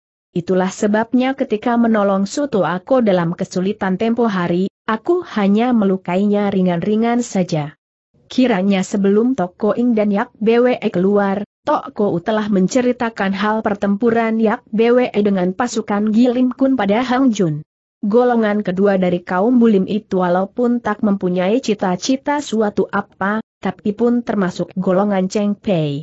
Mereka itu kebanyakan berasal dari perguruan atau keluarga Bulim, mungkin ada juga yang mengandalkan belajar ilmu silat untuk mengangkat nama. Golongan itu termasuk apa yang dinamakan belajar silat untuk dijual pada kerajaan. Tapi apakah pihak kerajaan mau memakai, mereka pun tak terlalu memusinkan. Tokoh-tokoh yang mewakili golongan ini antara lain ialah seperti Chin Xiang dan Ut Tipak, kata Hang Jun melanjutkan analisanya. Tapi katanya kedua orang itu amat menjunjung cita-cita luhur, tidak seperti kaum pembesar. Pada umumnya, Kabarnya banyak kaum loklim yang menghargai sikap kedua orang itu, kata Toko benar, boleh dikata bahwa kedua jenderal itu benar-benar tokoh yang cemerlang. Jika mereka bukan keturunan panglima-panglima kerajaan yang termasyhur, mungkin mereka sudah menjadi kaum Yeu Hiap, kata Hang Jun. Karena kini mereka menjadi pembesar tinggi, jadi sudah selayaknya setia menjalankan tugas-tugas negara. Selain kedua orang itu, ayah Sip Pinio, yaitu Sip Hang, juga termasuk golongan tokoh-tokoh semacam itu. Tok Kou mengangguk, kiranya jumlah tokoh-tokoh dari golongan seperti itu, tak sedikit. Jumlahnya. Golongan ketiga, ialah tokoh-tokoh bulim jahat yang mengandalkan kepandaian silat untuk melakukan kejahatan. Pada golongan ini juga dapat dibagi menjadi dua, pertama, bangsa pencoleng loklim yang taunya hanya merampok dan membunuh. Dalam hal ini tak perlu ku sebutkan contoh-contohnya.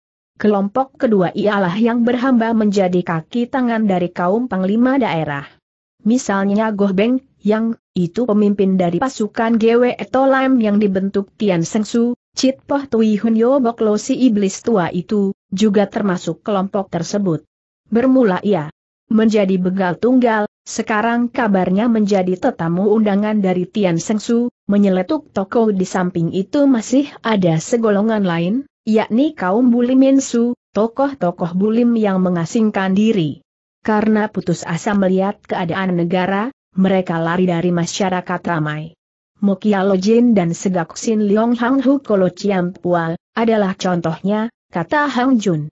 Diam-diam toko kagum akan analisa yang dibuat oleh tetamunya itu, ujarnya.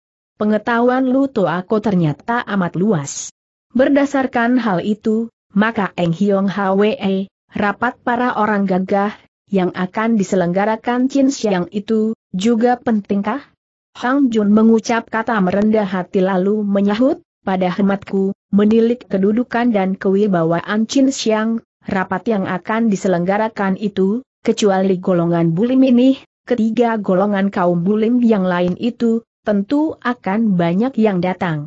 Malah dikhawatirkan akan lebih mendapat sambutan hebat dari Eng Hiong Tai Hwe yang diadakan di Gunung Kim Kenia itu. Apakah rapat itu sudah ditetapkan harinya? Tanya Toko kabarnya akan diadakan pada hari Tiong Chiu tahun ini di Istana Lisan Hing Kiong, kata Hang Jun. Kalau begitu hanya kurang tiga bulan lagi.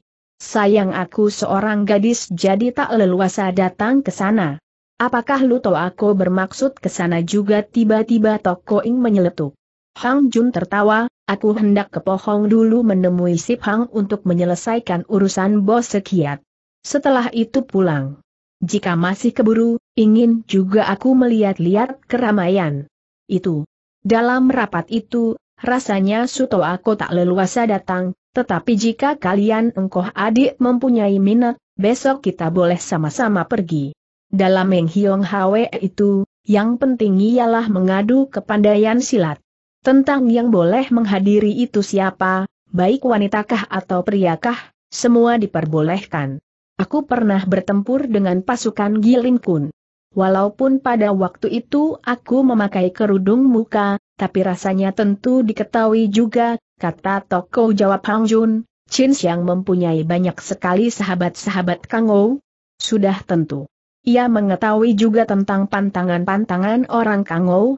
Kabarnya untuk Eng Hiong Hwe itu ia telah membuat pengumuman. barang siapa yang hadir, takkan diselidiki tentang perbuatan-perbuatannya yang sudah-sudah, sekalipun andai kata pernah memusuhi kerajaan. Syaratnya hanyalah mereka itu jangan sekali-kali membuat onar di kota Tiangan.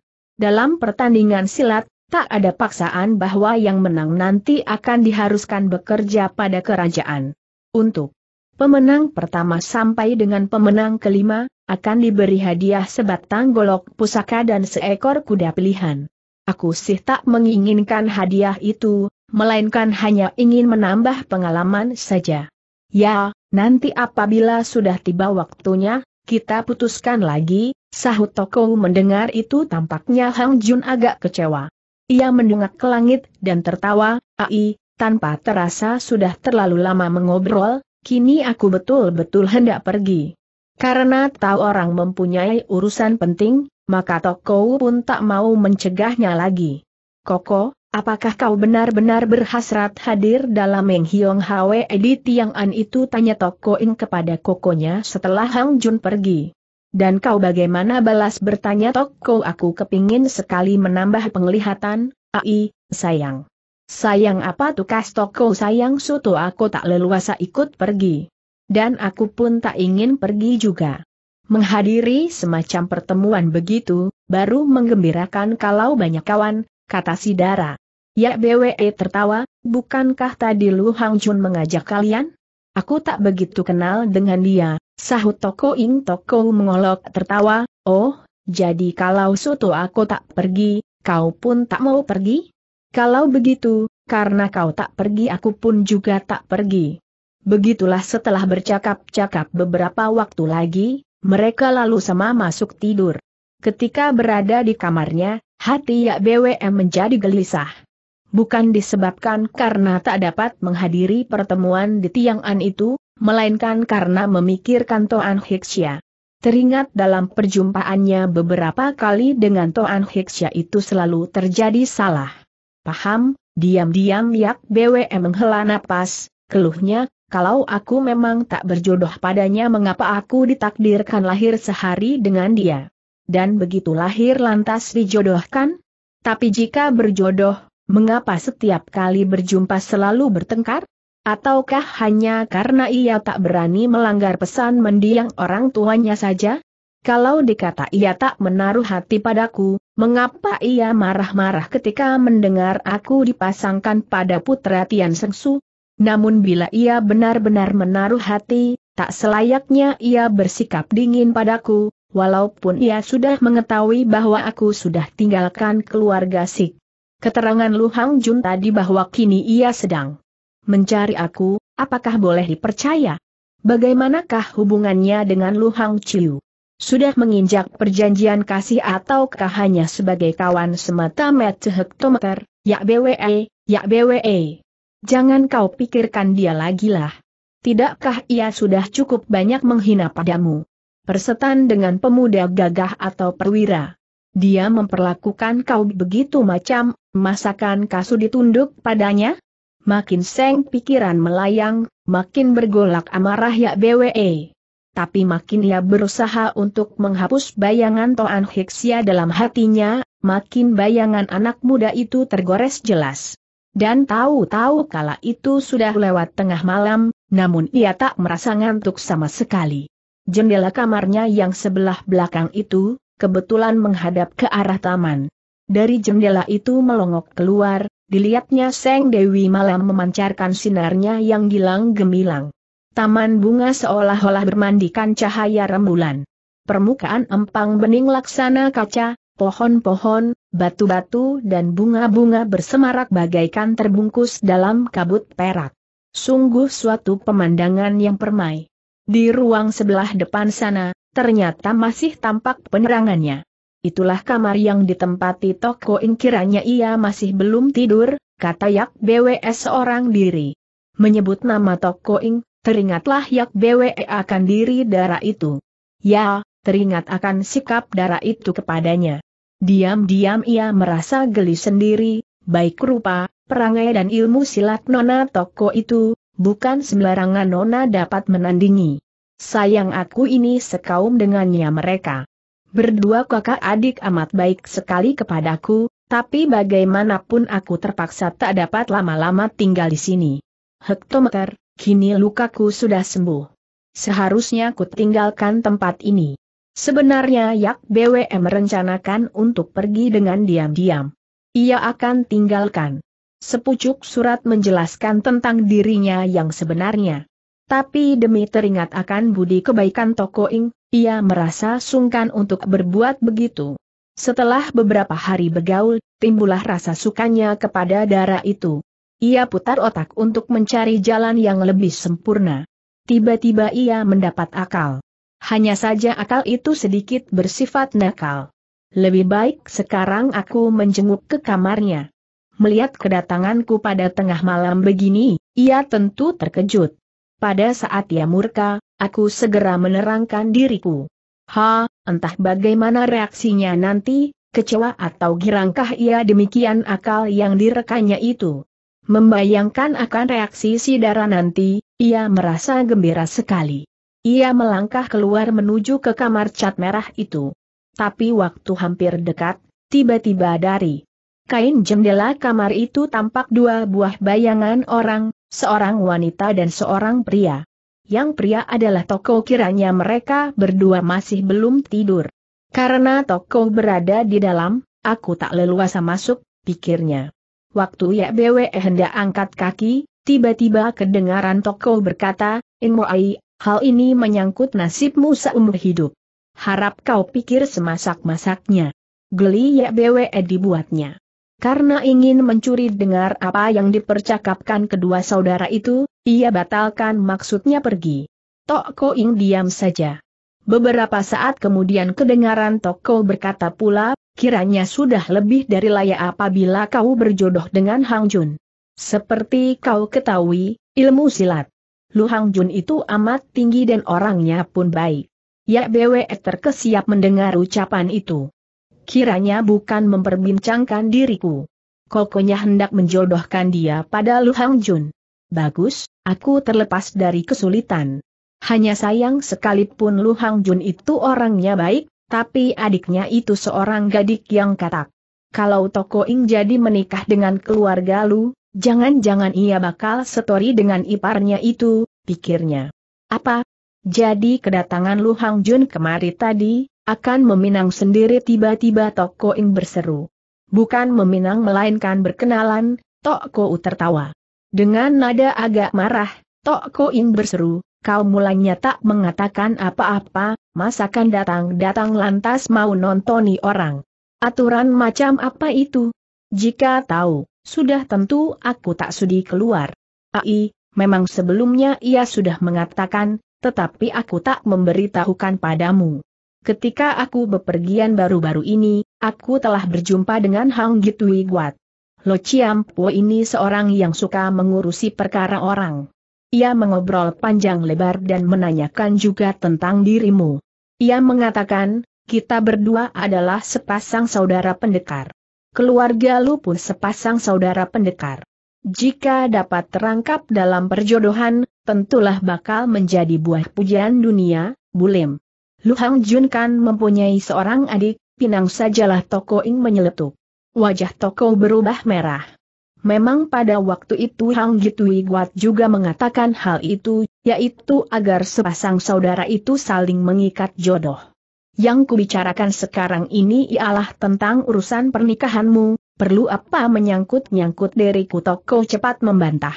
Kata Toko lebih jauh, Lo Chiampo itu mengatakan, apabila kita setuju, ia segera akan mencari Lu Hang Jun, suruh ia datang ke rumah kita untuk berkenalan dengan kau. Biasanya Lo Ciampo itu suka ugal-ugalan, jadi aku tak berani pastikan sungguh tidaknya omongannya itu. Jawabanku pada itu waktu ialah akan menyerahkan hal itu padamu sendiri.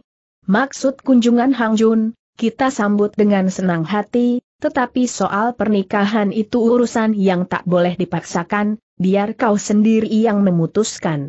Tok Koing menghela napas, ujarnya, benarlah, kau telah memberi jawaban yang tepat. Oleh karena tak terlalu kemasukan dalam hati kata-kata Lo Ciampu itu, maka waktu pulang. aku pun tak mau buru-buru mengatakan padamu. Apalagi karena kita sibuk merawat Suto Ako, jadi tak keburu memberitahukan. Sungguh tak terduga bahwa Lu Tai Hiap itu benar-benar datang kemari. Sebelum kau keluar, ia sudah beberapa kali menanyakan tentang dirimu. Sebenarnya ia itu seorang yang berwatak terus terang, tapi ketika menanyakan dirimu ia sudah berlaku likat-likat. Sudah tentu ku ketahui maksudnya. Rupanya Hang Giwigwa telah menyuruhnya datang kemari. In Moai, apakah kau tak mengetahui bagaimana beberapa kali ia melirik padamu? Ya, justru sinar matanya itulah yang ku benci sahut Toko In Toko U tertawa, ya, aku tahu ada seorang yang tak kau benci. Dan dia pun suka bergaul dengan kau. Suto aku sedang dalam sakit. Ia adalah tetamu yang kau undang kemari bahwa jerih payahku mewakili kau untuk merawatnya bukan mendapat terima kasihmu, sebaliknya kau malah mengejek padaku, demikian Toko Ing mengomel. Kaulah yang harus berterima kasih padaku, Moai Moai, jangan kira aku tak tahu isi hatimu, ya? Memang aneh ini. Aku yang lebih dulu dan lebih kenal lama dengan Soto aku tak dapat bergaul dengan rapat, sebaliknya begitu bertemu padamu ia lantas jatuh hati. Ai, mungkin sudah menjadi kehendak nasib. Hanya saja, hanya saja. Sebenarnya Toko Ing tengah tundukkan kepala. Tapi begitu mendengar ucapan Seng Engkoh, itu, serentak ia dongakan kepala hanya apa ia tanya dengan cepat. Tenang-tenang saja Toko menyahut, meskipun soto aku itu tiada tercela, tetapi asal. Usulnya tak ketahuan. Bagaimana keturunan keluarga lu, rasanya kita sudah cukup mengetahui, apanya yang tak jelas. Ia sudah menuturkan asal-usul dirinya kepadaku, cepat-cepat toko. Ing menukas. Tapi aku tetap bercuriga, sahut toko ah, memang kau ini banyak curiga. Tapi aku menaruh kepercayaan penuh padanya bantah Toko Ing dengan nada bersungguh Toko berkata, Moai Moai, urusan pernikahan itu suatu hal yang serius. Coba kau bilang terus terang tentang keputusanmu, biar ku dapat memberi keterangan pada orang. Baik, berilah jawaban pada orang itu dengan membilang, dengan membilang. Membilang bagaimana tukas toko selebar wajah toko ing bertebar warna merah. Tiba-tiba berhamburanlah kata-kata dari mulutnya, bilang sajalah padanya, bahwa aku sudah dijodohkan pada lain orang. Pemuda silu itu terlambat datangnya. Dan habis perkara.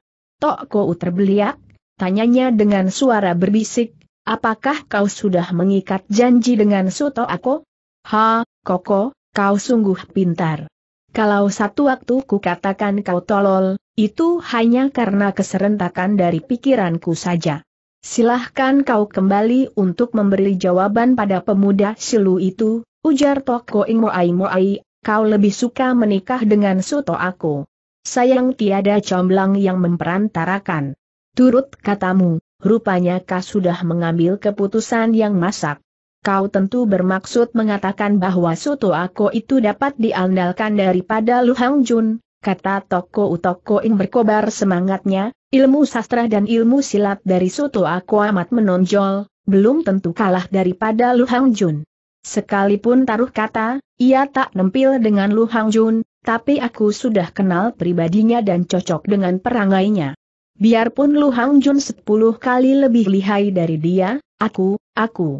Kau tetap akan memilih Suto aku bukan Toko menukas dengan tertawa. Toko Ing tundukkan kepala. Ia tak menyahut dan sikap begitu berarti ia diam-diam menerimanya.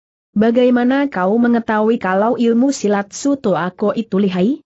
Ah, mungkin ketika kalian berdua keluar untuk menyambut kedatangan Lu Hang Jun, kalian sama-sama menyelipkan pedang. Apakah kalian sebelumnya sudah menguji kepandaian di dalam taman tanya Toko benar, kau tentunya hanya mengetahui bahwa ilmu pedangnya lihai, tapi tentu belum mengerti siapa suhunya. Dengarlah, ilmu pedangnya lihai, ajaran dari Biao Hui Sini sahut Toko Ing dengan bersemangat darah itu menceritakan tentang permainan pedang Yak Bwe. Setiap gerak dan setiap jurus dari ilmu pedang Suto Akonya, ia lukiskan dengan gairah sekali. Oh, oh, hektometer, hektometer, selama mendengarkan cerita Seng adik, mulut Toko selalu menghamburkan nada heran dan kagum. Mengapa ilmu pedang Biao Hui Sin dapat diturunkan kepada seorang lelaki, itu sungguh mengherankan sekali akhirnya Toko menyatakan keheranannya. Piao Chinya yang bernama Sipin Nio yang mengajarkannya, Tok Koing memberi keterangan. Ia lantas menceritakan keterangan yang dirangkai oleh Yak BWE. Anehnya kesangsian Toko makin jelas menampil pada wajahnya. Ai, kau ini bagaimana, Koko? Apakah kau curiga Suto aku mencintai Piao tanya Toko Ing Toko tertawa, Omi Tohut, berdosa, berdosa. Tidakkah kau mendengar ucapan Lu Hang Jun? Sipin Nio sudah tertambat hatinya dengan bos sekiat. Tiat Molek dan kawan-kawan mengetahui hal itu. Dan untuk urusan itulah, maka Tiat Molek sudah minta tolong Lu Hang Jun menjadi comblangnya. Sipin Nio seorang jelita perkasa, seorang pendekar wanita. Masakan ia bermoral tipis?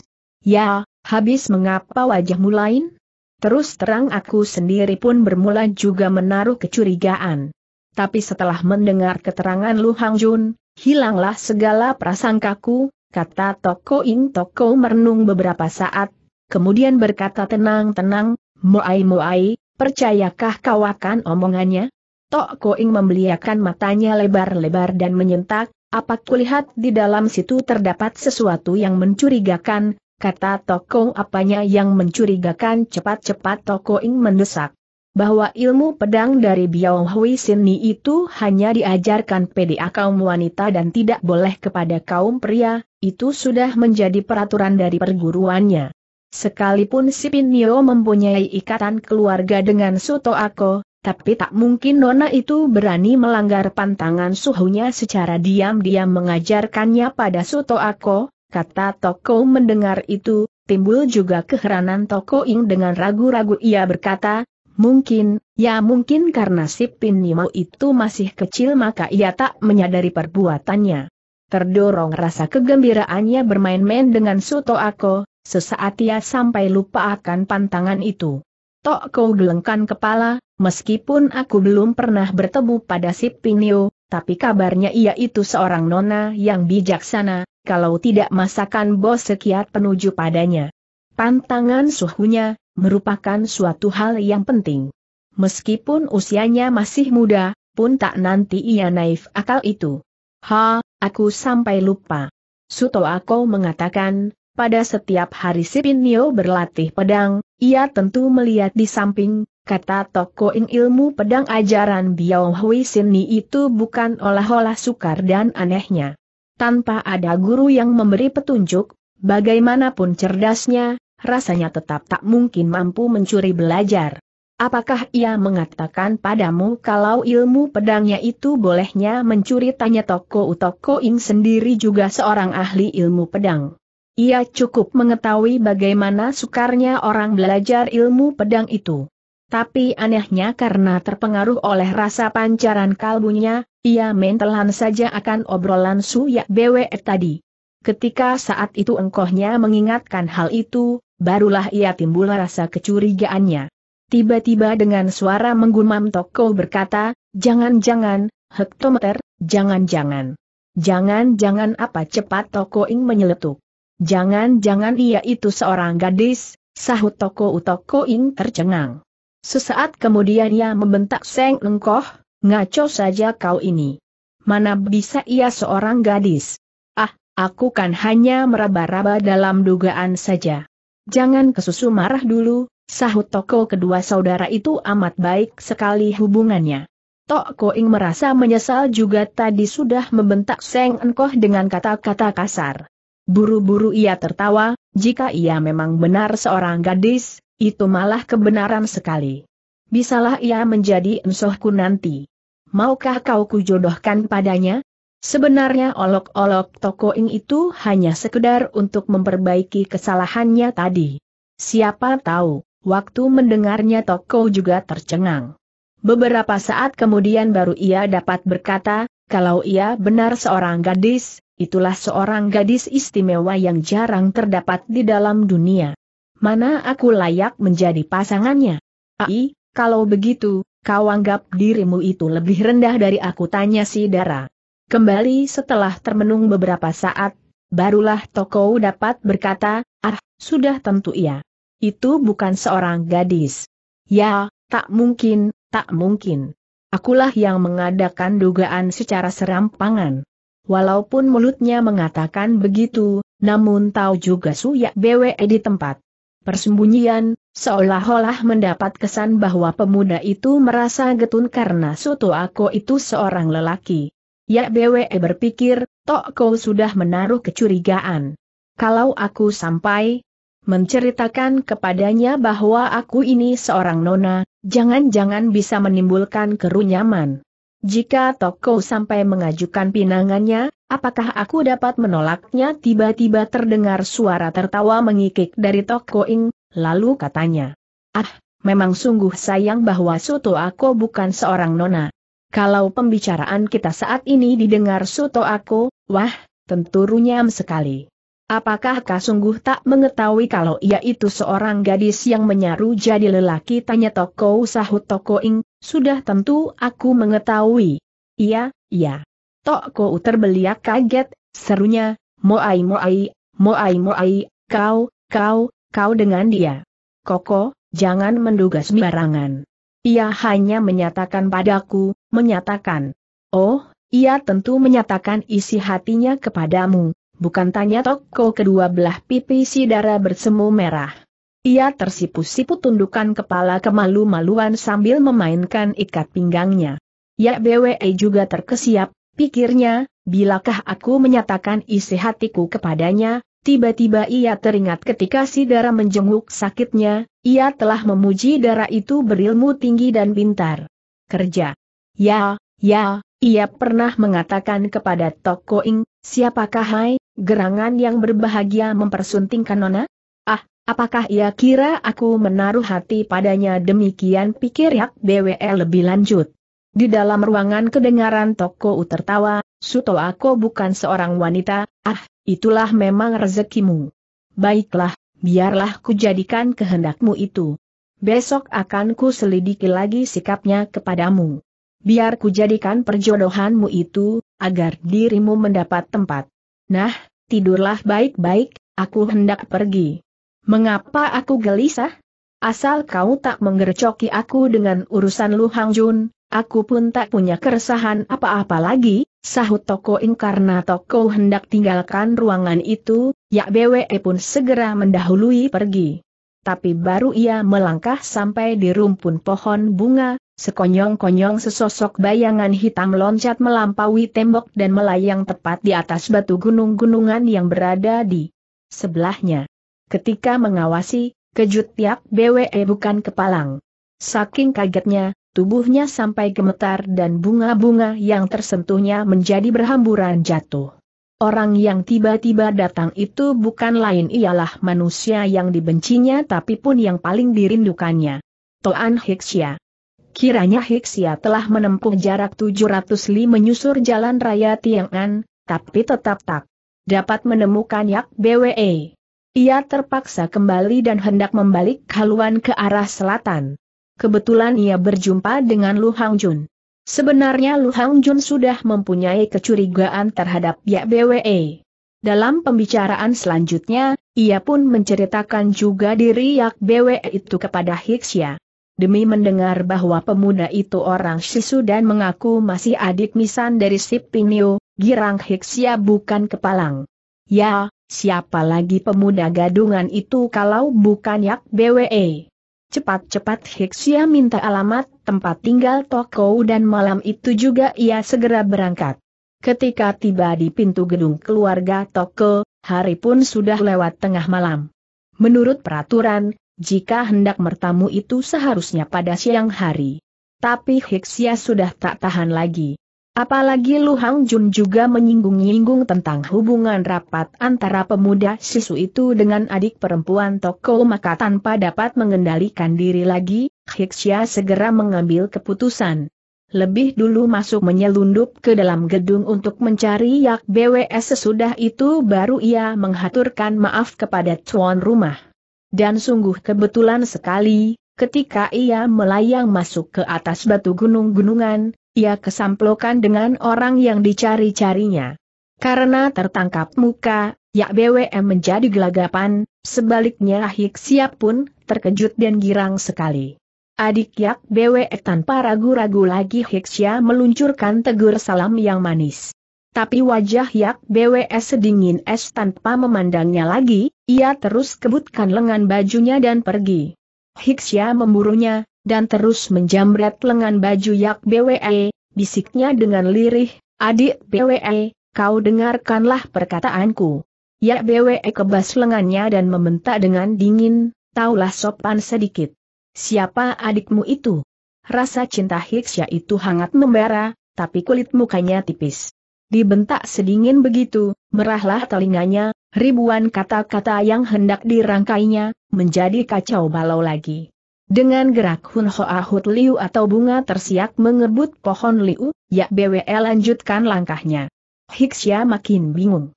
Dengan besar nyali ia tekan ujung tumitnya. Dengan gerak ginkang istimewa Teng Hun Jong, ia melambung melampaui kepala Yak BWE dan melayang jatuh di hadapan si Nona untuk menghadangnya. Minggir bentak Yak BWE. Dan tanpa hentikan langkah, ia terus maju menerjang. Tapi Hiksia lantas mengadangkan kedua tangannya. Bagaimanapun ya BWE hendak coba menerobos, tetap kena terhadang. Toan Hiksia, kau terlalu menghina orang akhirnya meluncurlah kata-kata kemarahan dari mulut Yak BWE. Yak BWE, kau marah padaku, aku tak sesalkan padamu.